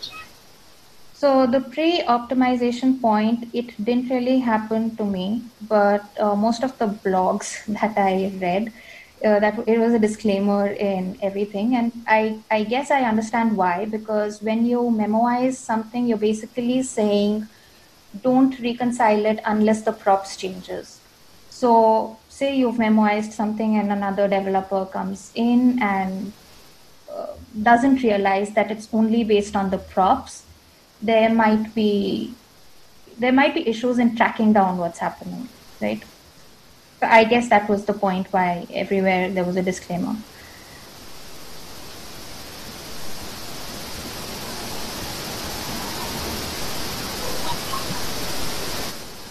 Okay, variable heights are also supported in React window.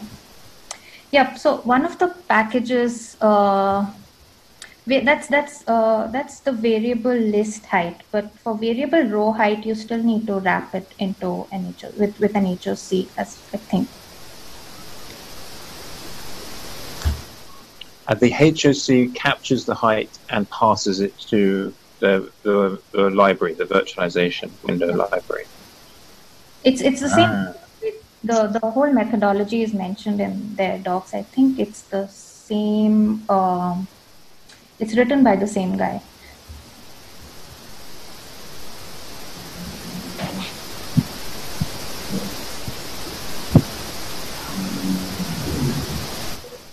I can provide a link to the slides um, in the talk.js issue, maybe?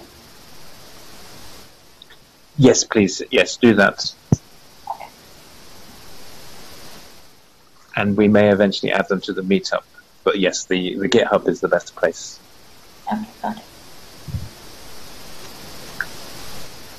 I think if if people want to unmute now, they're welcome to. If they want to ask questions.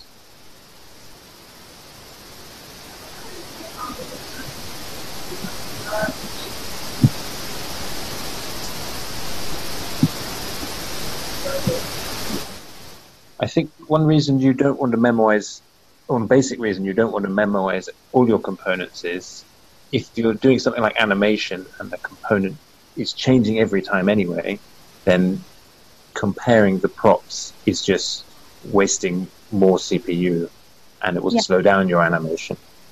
Yeah, yeah. But I think there's probably lots of other reasons. So uh, we should probably give this blog post a read. Okay, Akshata, thank you very much for your presentation. Very interesting.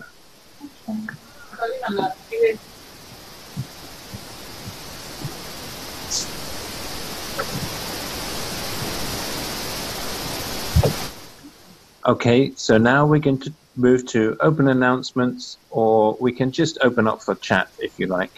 But um, if anyone wants to announce anything, please, um, yeah, unmute yourself and and talk to us.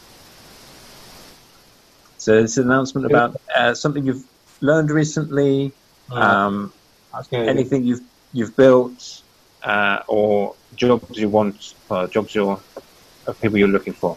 Yes, sorry. Please go ahead.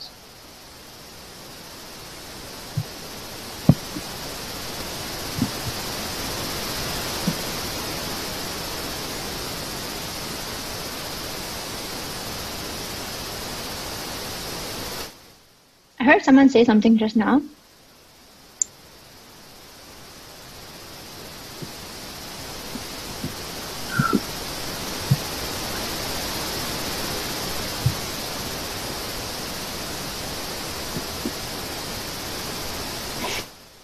Um, if you're looking for a job, if you're looking to hire people or anything like this at all, or if you even want to promote any conference, virtual conferences that you saw you thought was pretty cool, um, I mean, you can just feel free to to like unmute and chat. You're all on by default muted, so like please unmute.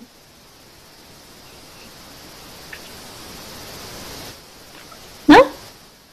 I don't really have a question. Uh, it's more of like advice uh, that I like to ask around. So I'm actually with this same company for about two years now, and I'm on a. I'm still rather happy with the project that I'm on. I'm quite happy with it.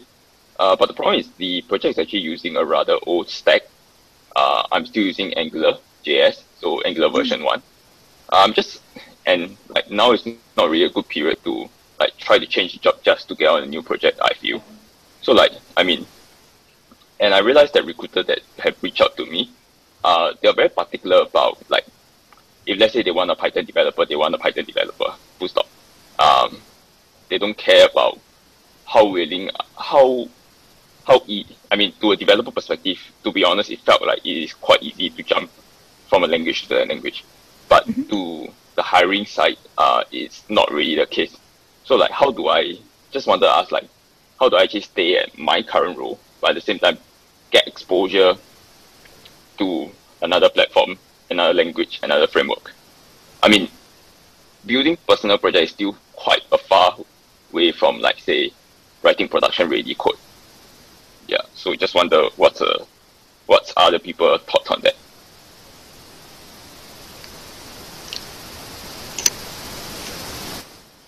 On point two, I think a lot of other more qualified people can respond. But on point one about talking to recruiters, frankly, recruiters just do keyword mapping. So like if you can manage to talk to hiring managers or developers that are already in the company, I think they're a lot more open to knowing that other developers can easily learn new concepts and not have to like match the resume word for word. Um, so it's probably uh, uh, like a little blockage because you're talking to recruiters who actually, a lot of them don't fully comprehend what they're recruiting for. I mean, there are a lot of great ones, but like to be honest, the, the, there are a lot that think that okay, X is X, you know, like I need to match keyword for keyword to present to my clients the perfect uh, candidate. So personally, I would try to talk to someone who's already in engineering inside. My personal opinion. Yeah. Thank you. Apart from personal projects, you could try and get involved with an open source project which has a, a running website um, because then you're maybe moving up into a slightly more production uh, level. And then you could say on your CV, I've helped to maintain this Python based website for a year or two. And you could give a link to it and show it running. Yep. Thank you. And, and uh, also, if you're working with a team that way, you can maybe get some feedback to improve your code, which you don't get working on your own on a personal project.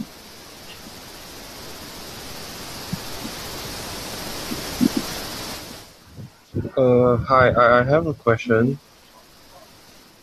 So uh, I'm fairly new to programming and I'm like still learning a lot like from the start.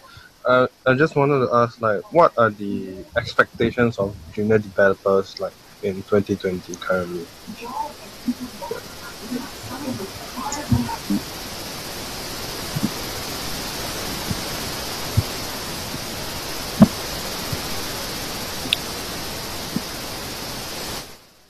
This is an open mic, by the way, so like everybody can please unmute and then you can like give your say. If you've hired junior developers, if you've mentored junior developers, like like feel free to just mention like personally you prefer working with a developer who show this kind of traits or that kind of stuff. Like this is open mic, it's open discussion, it's not a Q&A. We, we did hire an open developer, uh, a junior developer, um, a couple of months ago, and uh, we, we saw a few candidates. Um, we ended up hiring a guy who had um, not, I think he'd done one programming job, but he had tried a few different things. He'd done a few different hobby projects, and they were up on GitHub, so we could go and have a look and see, you know, the sort of the quality of his code. And um, so, yeah, I think it's good to have a little portfolio of projects you've done, because um, and that, that way we could see that he had some experience in React and he had done some reading about this and that. Um, so yeah, I guess one bit of advice would be anything you do look into and learn about, upload it, and show it off. Um, yeah, build your portfolio. Thank you.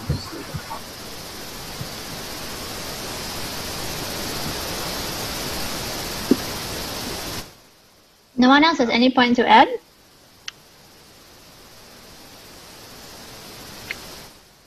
How about Hui Jie?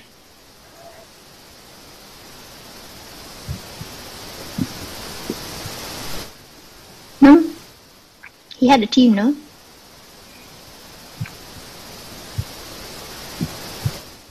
I guess everyone's too shy. That question? Another consideration is um, uh, is it, are you someone that's good to work with? Um, that was another uh, thing we, we were looking at. And um, that can just be a kind of personal thing. Um, with uh, it, Are you a culture fit for the team? But in general, I think it means being open to, um, uh, yeah, to learning and to collaborating and uh, good communication. It's an, another important factor which is often forgotten with programming, but it's, it's pretty important. Um, maybe I can add something on to that. So for me, I've mentored a few juniors in the past, and I feel that uh, one trait that I really uh, makes me enjoy mentoring them is if they have the willingness to learn and they take initiative. So basically, try to unblock yourself first before you proceed to approach your seniors to help with you. Because when you try to unblock yourself, sometimes uh, it helps to you to build up like your debugging skills and critical thinking, which I think is a really important role in this, a really important trait in this role. Yeah.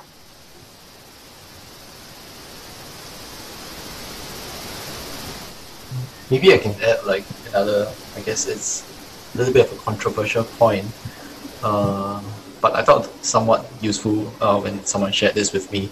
Uh, maybe you can search up on this thing called the Dunning-Kruger's curve. Uh, essentially, the idea, like when, when I was introduced to this, was to uh, be sort of self-aware on like sort of where you are on the curve, and uh, like I think because if you look at part of the curve, uh, it goes up to a very high peak at the start, and then uh, goes down as you start realizing that you know there's so much more that you have to learn. So it's it's kind of like a reflection that yeah, because there's so much things to learn, always be open to learn uh, from your other colleagues and the people around you.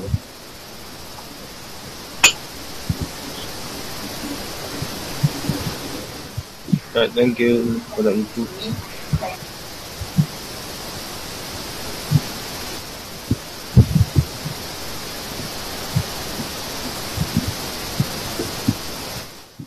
Uh, going back to the first question, I did like the suggestion made in one of the talks that when you want to try out a new technology, a new language, uh, you do that in a small project, and um, and then you can assess without uh, without too much risk because it's only a small thing. Um, that's a good way to, to, to, to learn something new.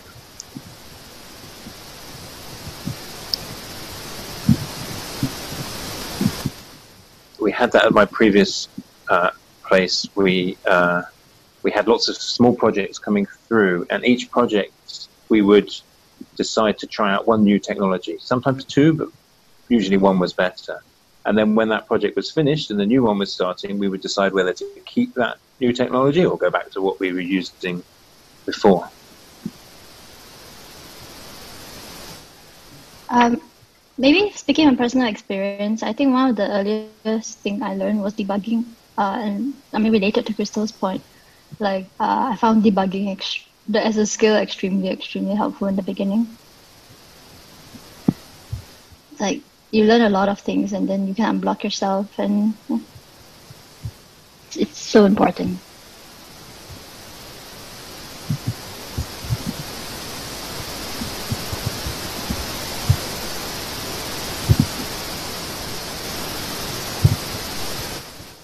Think a problem that juniors face quite often is they want to ask Google for help, but they don't know the keywords to use.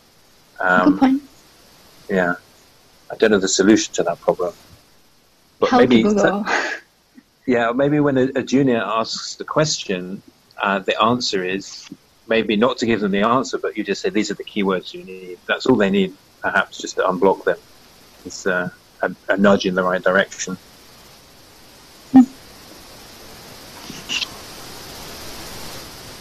Yeah, like when I started my programming journey, what I realized is that I learned to learn a lot. You know, it's like it's like you have to like even when you're in like what they call the tutorial hell in some sense, you still gotta like you know figure out the problem. It's like every single step along, you gotta be like like self sufficient to like find solutions. Yeah, I guess that, that's what you're talking. Yeah. It's good to Google something first before bothering the seniors, but sometimes, um, yeah, it's also, uh, you don't want to waste time getting, if you're really stuck, then, um, yeah, don't waste time. Get, get, get a little bit of help. And sometimes you only need a little nudge. maybe I could share my experience. So I, my experience about one year plus back when I went from tutorial to actually starting on a, a, a job as a junior dev. What I find from a personal experience is that uh, first you need to be familiar with your tool. So I mean, uh, the tool set in the company is very different from the tool set that you on a personal level, and sometimes you don't really have a choice. So you might be fixed to a certain IDE, good or bad. You need to know how to use it. So on the junior level, you will always the most convenient way of debugging is like console log uh, or system out println. But when you move to a permanent role, in that sense, there are more useful debugging tools. So you can set breakpoint, etc. Uh, and if you're talking about front end, uh, there are even more tools that you can use. For example, React, you have various uh, components, add-ons, uh, Redux, inspections kind of tool. So you need uh, it will help you be more productive if you know how to use this tool. And the other thing that I noticed that the biggest difference is really about uh, skill. So when you work, you play around your own project, you're always looking at about maybe 6, 20, 30 files. When you move out to production, you're looking at, I don't know, I think my current project have like 20,000 files. Uh, I can't really remember how many lines of code there are. But like, uh, so one thing that shocked me is that uh, how people navigate around the code base a lot is they actually just do Control Shift F and really just do a word search. So, uh, but it end up to be quite a useful way of uh, looking around code. Then if you're talking about like trying to get a job, uh, I I sit on the other side of the table in terms of like helping the hiring manager. Uh, what we usually try to look out for is someone who we were one of the questions that I found quite useful is that uh, asking them about their previous project, big or small, and sharing about the project to them. So usually, uh, just by the person talking about project, you can tell whether that person is uh, someone who is willing to learn and someone who realized that at that point in time he might not make the best choice and he's receptive to criticism. So uh, I think that aspect is actually quite important in a team setting. So yeah, just my humble opinion. Mm-hmm. Thank you, thank you.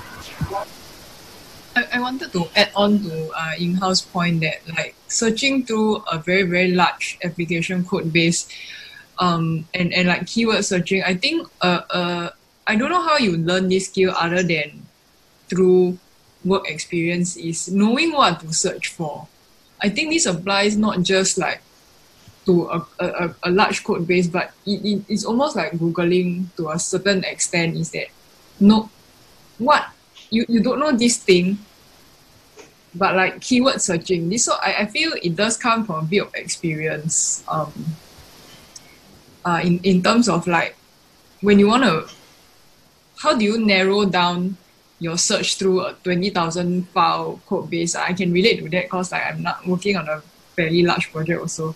It's like the word is very common how would you narrow it down to a point where you know you can actually find the method or find the function or find whatever you're looking for um, i think this is, is one of the most useful skills you can have if you're if you're going to be working on a on, on a team on a large pro, on, on a large application uh. otherwise you just get you just get lost because you don't even know who to ask where to where to go um, but about the also I wanted to chime in about the the mentoring thing.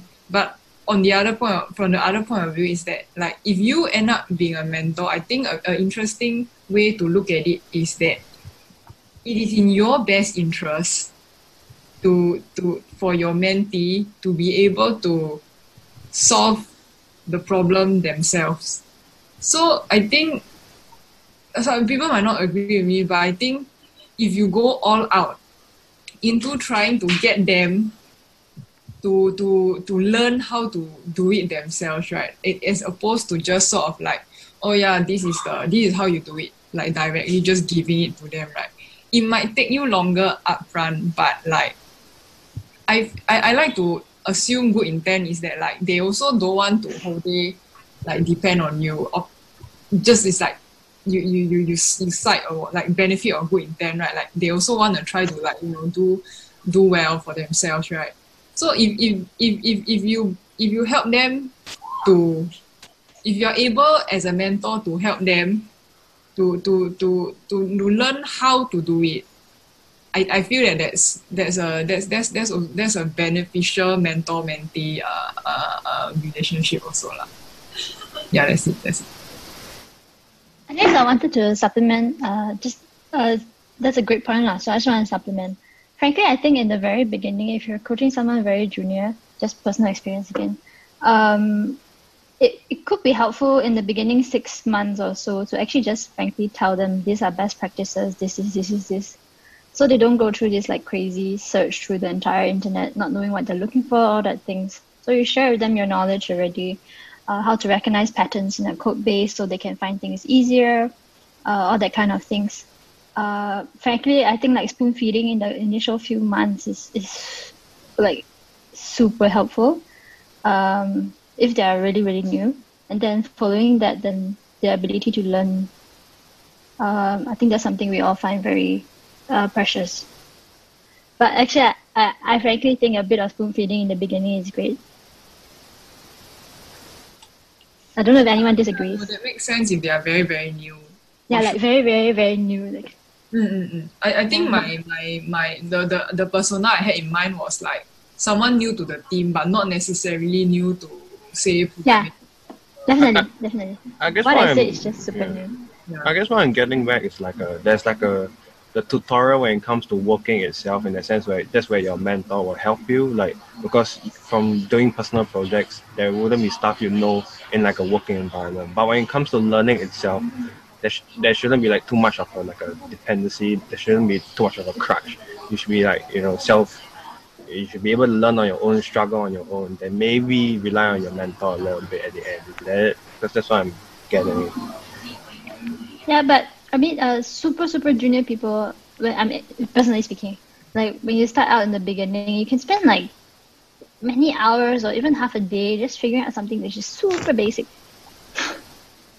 so like, there's another thing that um, I, another practice I tried to take up when I was, uh, I mean, that I tried to take up was um, if I'm stuck on something.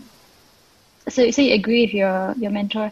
If I'm stuck on something for 20 minutes and then I'll approach you, something like that uh, or like any arbitrary amount of time lah. I, I ask for your opinion. singing is a good idea. Like, not like you. You also give yourself like, if okay, I will, I will spend, I will go all in like hundred and twenty percent of my effort to try to find the answer to this for 30, 35 minutes. Cannot there. I think it's a Yeah. good idea. Yeah, like there's a limit lah because you know sometimes, especially when when you're new, you feel very paiseh to ask. And actually, that's terrible because that's super unproductive. Uh, yeah. I think just, just to add in something, it kind of starts uh, by sometimes it depends on the team. So as, as a team lead, you want to give your juniors or somebody new a small and manageable problem. Basically, you need to scope out the learning journey for the mentee. I mean, if, if you if you give somebody new like, hey, I want you to bring up this feature that uh, is going to save us two million dollars a year, sort of thing No lah. setting him up for failure, right? It's, it's pretty much unmanageable. But some something small like, hey, can you solve this logging issue over there? You know, it's logging the wrong message. It gives it builds up confidence and it gives him a chance to spend a bit of time getting productive and learning how to grab the code base. So as a junior, maybe asking the team lead for a manageable task helps a lot. Mm, definitely agree. But back to the point of being stuck, ah, um, I find that I think it's, dif- it's it's confirmed different for everyone. But like for very GL people like me, right? I tend to, I will I will forever remember like the things that I took like the very simple thing that I took four hours to solve. Well, that one I did like burn into my brain for life. Like cannot forget. Like, the the exasperation is very memorable. But I'm sure it's very different for other people.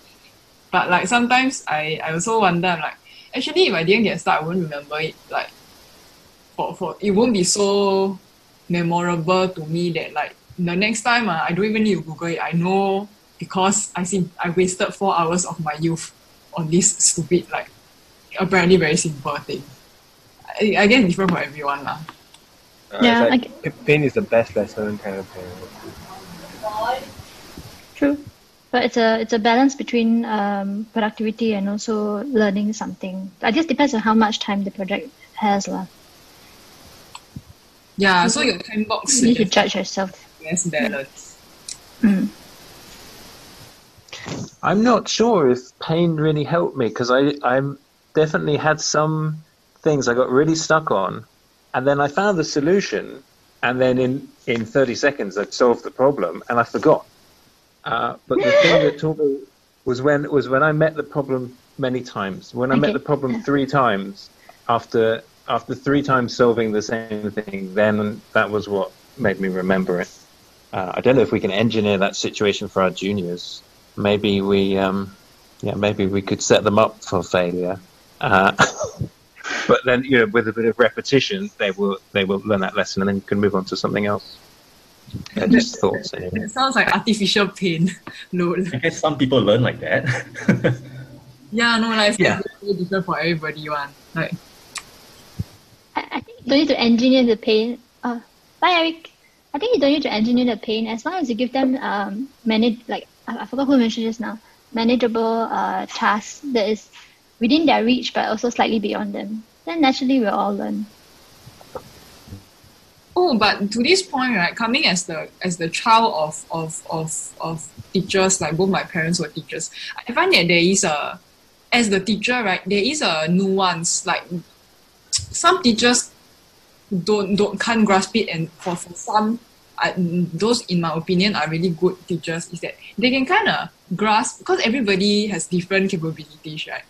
To me, the the the the, the best teachers can can kind of catch like where they are where where their, their students individual threshold is. So it's like you know what I mean? It's like uh maybe you got like three students and then one student is like you know this person if if they do they put in their best they can get a 95 um and then you have another student who is like maybe not not not as strong their max their max out is like about 75 like but but to, to be able to catch like where this this this bar is, I think there's a nuance to it. So in terms of manageable tasks for on the mentor side, right, I think that also is a skill that that that you would need to hone as a senior, like how to be a good senior, how to be a good mentor, how to be able to bring someone up, right? That's that's also a skill that, that you can kind of have to. I think it's is is is is half human, half technical. So like you have to be very skilled technically to be able to gauge what task is appropriate, and then you also have a people side of it to like kind of get a feel for like where your your your mentee is uncomfortable but still okay, or where like she they are, they are going to they are, they are just gonna break down because I don't know They're just like, gonna break down and cry already. you know right? Yeah, so I think actually when you bring bring this up, this is actually interesting. As in like both sides have have skills to hone. You know, it's, it's not like a one sided thing. Mm, definitely. So in that case, is it considered? I don't know whether is it considered like a good initiative or it's kind of cocky in the sense that you go out to your mentor and you tell him like, oh or her like, like this is how I learn. You know, like I some some people like you know you, you say some people need a little bit nudge, some people need a bit more feeling at the start. Is it kind of like a, is it a good initiative or is it more like you know it's kind of presumptuous to like assume the team would your mentor will just adjust his piece of her I- I- learning I method to you. I don't think it's cocky at all. I think communication is a very, very Mm. critical part of the relationship. And I, I guess, the, of course, there's the how you phrase, how you phrase the request, um, uh, or whatever. But but I think it's a very, I think it's very good to be open. And because first of all, you need to be aware of yourself. Like you need to know, I I I.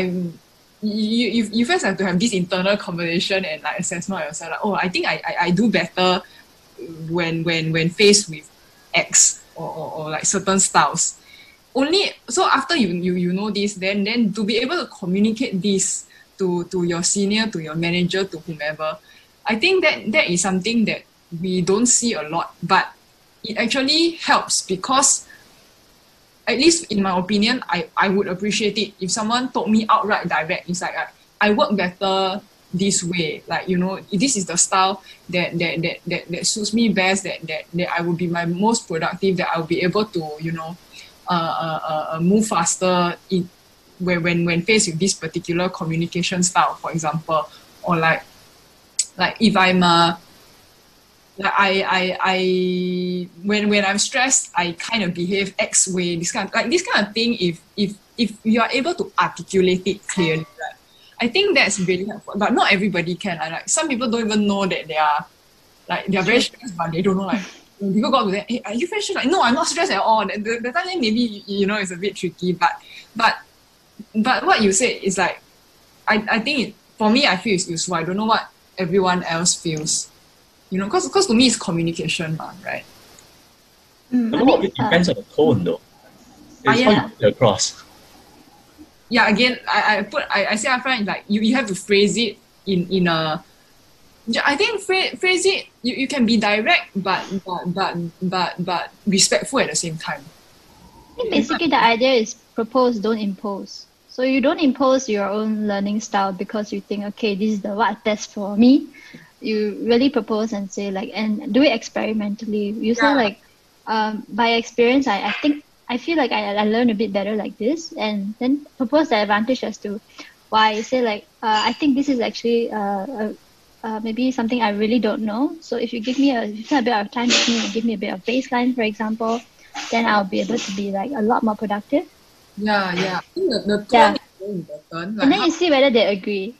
Correct. Right. Like how Min how how how, how Min raised it. That that mm. tone more of an inquiry. Like I this is the way that, that, that I learn best. Is it like so so you're asking like is it is it possible for us to do it this way? Can we explore? Can we you know it's not like Yeah. so, Just so for a while. you're, you're coming from a place of of of of like you know in, inquiry proposal lor. not not like I must Ah, like that you will follow me. Ah. in and like throw your weight around. I think most people would be open to it. I feel I feel like I feel like if someone came up to me and said, um, do you think you, you, you know it's like they are not they are they are not they're not coming in and saying that imposing their will on other people. Rather they are just sharing that okay this is this is this is how I it would be advantageous for me. So if it's if it's okay, can we do this right? I think most people will be receptive. ah. I, I believe. ah, I believe. It's like the tone must be like more like you're trying to look for the most efficient, the most like you know, the, the best path, the best way around it. Not not to like yeah, not because of it. you.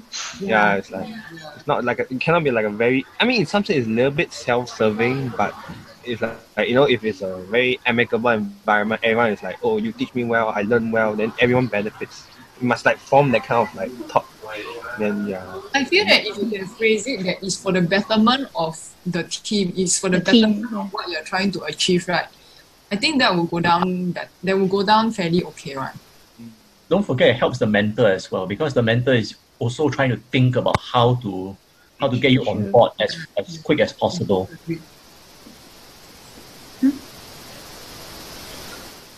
Thank you everybody for. By the way, if you're not already, there's a junior dev uh, where they, they have uh, discussions about this kind of things too. Sorry, come again. Uh, have you have are you in junior dev? Uh, I don't think I'm like ready to apply it. Yeah. Oh no, I'll- no, no, not not. It's not applied. Junior dev is just another meetup where um basically people starting out can get together and share common uh, things lah. So like the thing you said about uh how can you manage your relationship with your own mentor, with your team, uh what kind of things is important for beginners. Guys, join junior dev is uh, I think there'll be a lot of very interesting content for you. It's literally junior dev. Yeah, we should right. put that on the slides. Good point, Min. I'm going to go now. Thanks everybody for uh, coming and um, for everyone who helped to organise and join in the chat. Thanks So, for um, hosting. Yeah. That- Yeah. Yep. See you all good? next time. Bye. See everybody. Bye. Bye. Thank you. Bye bye.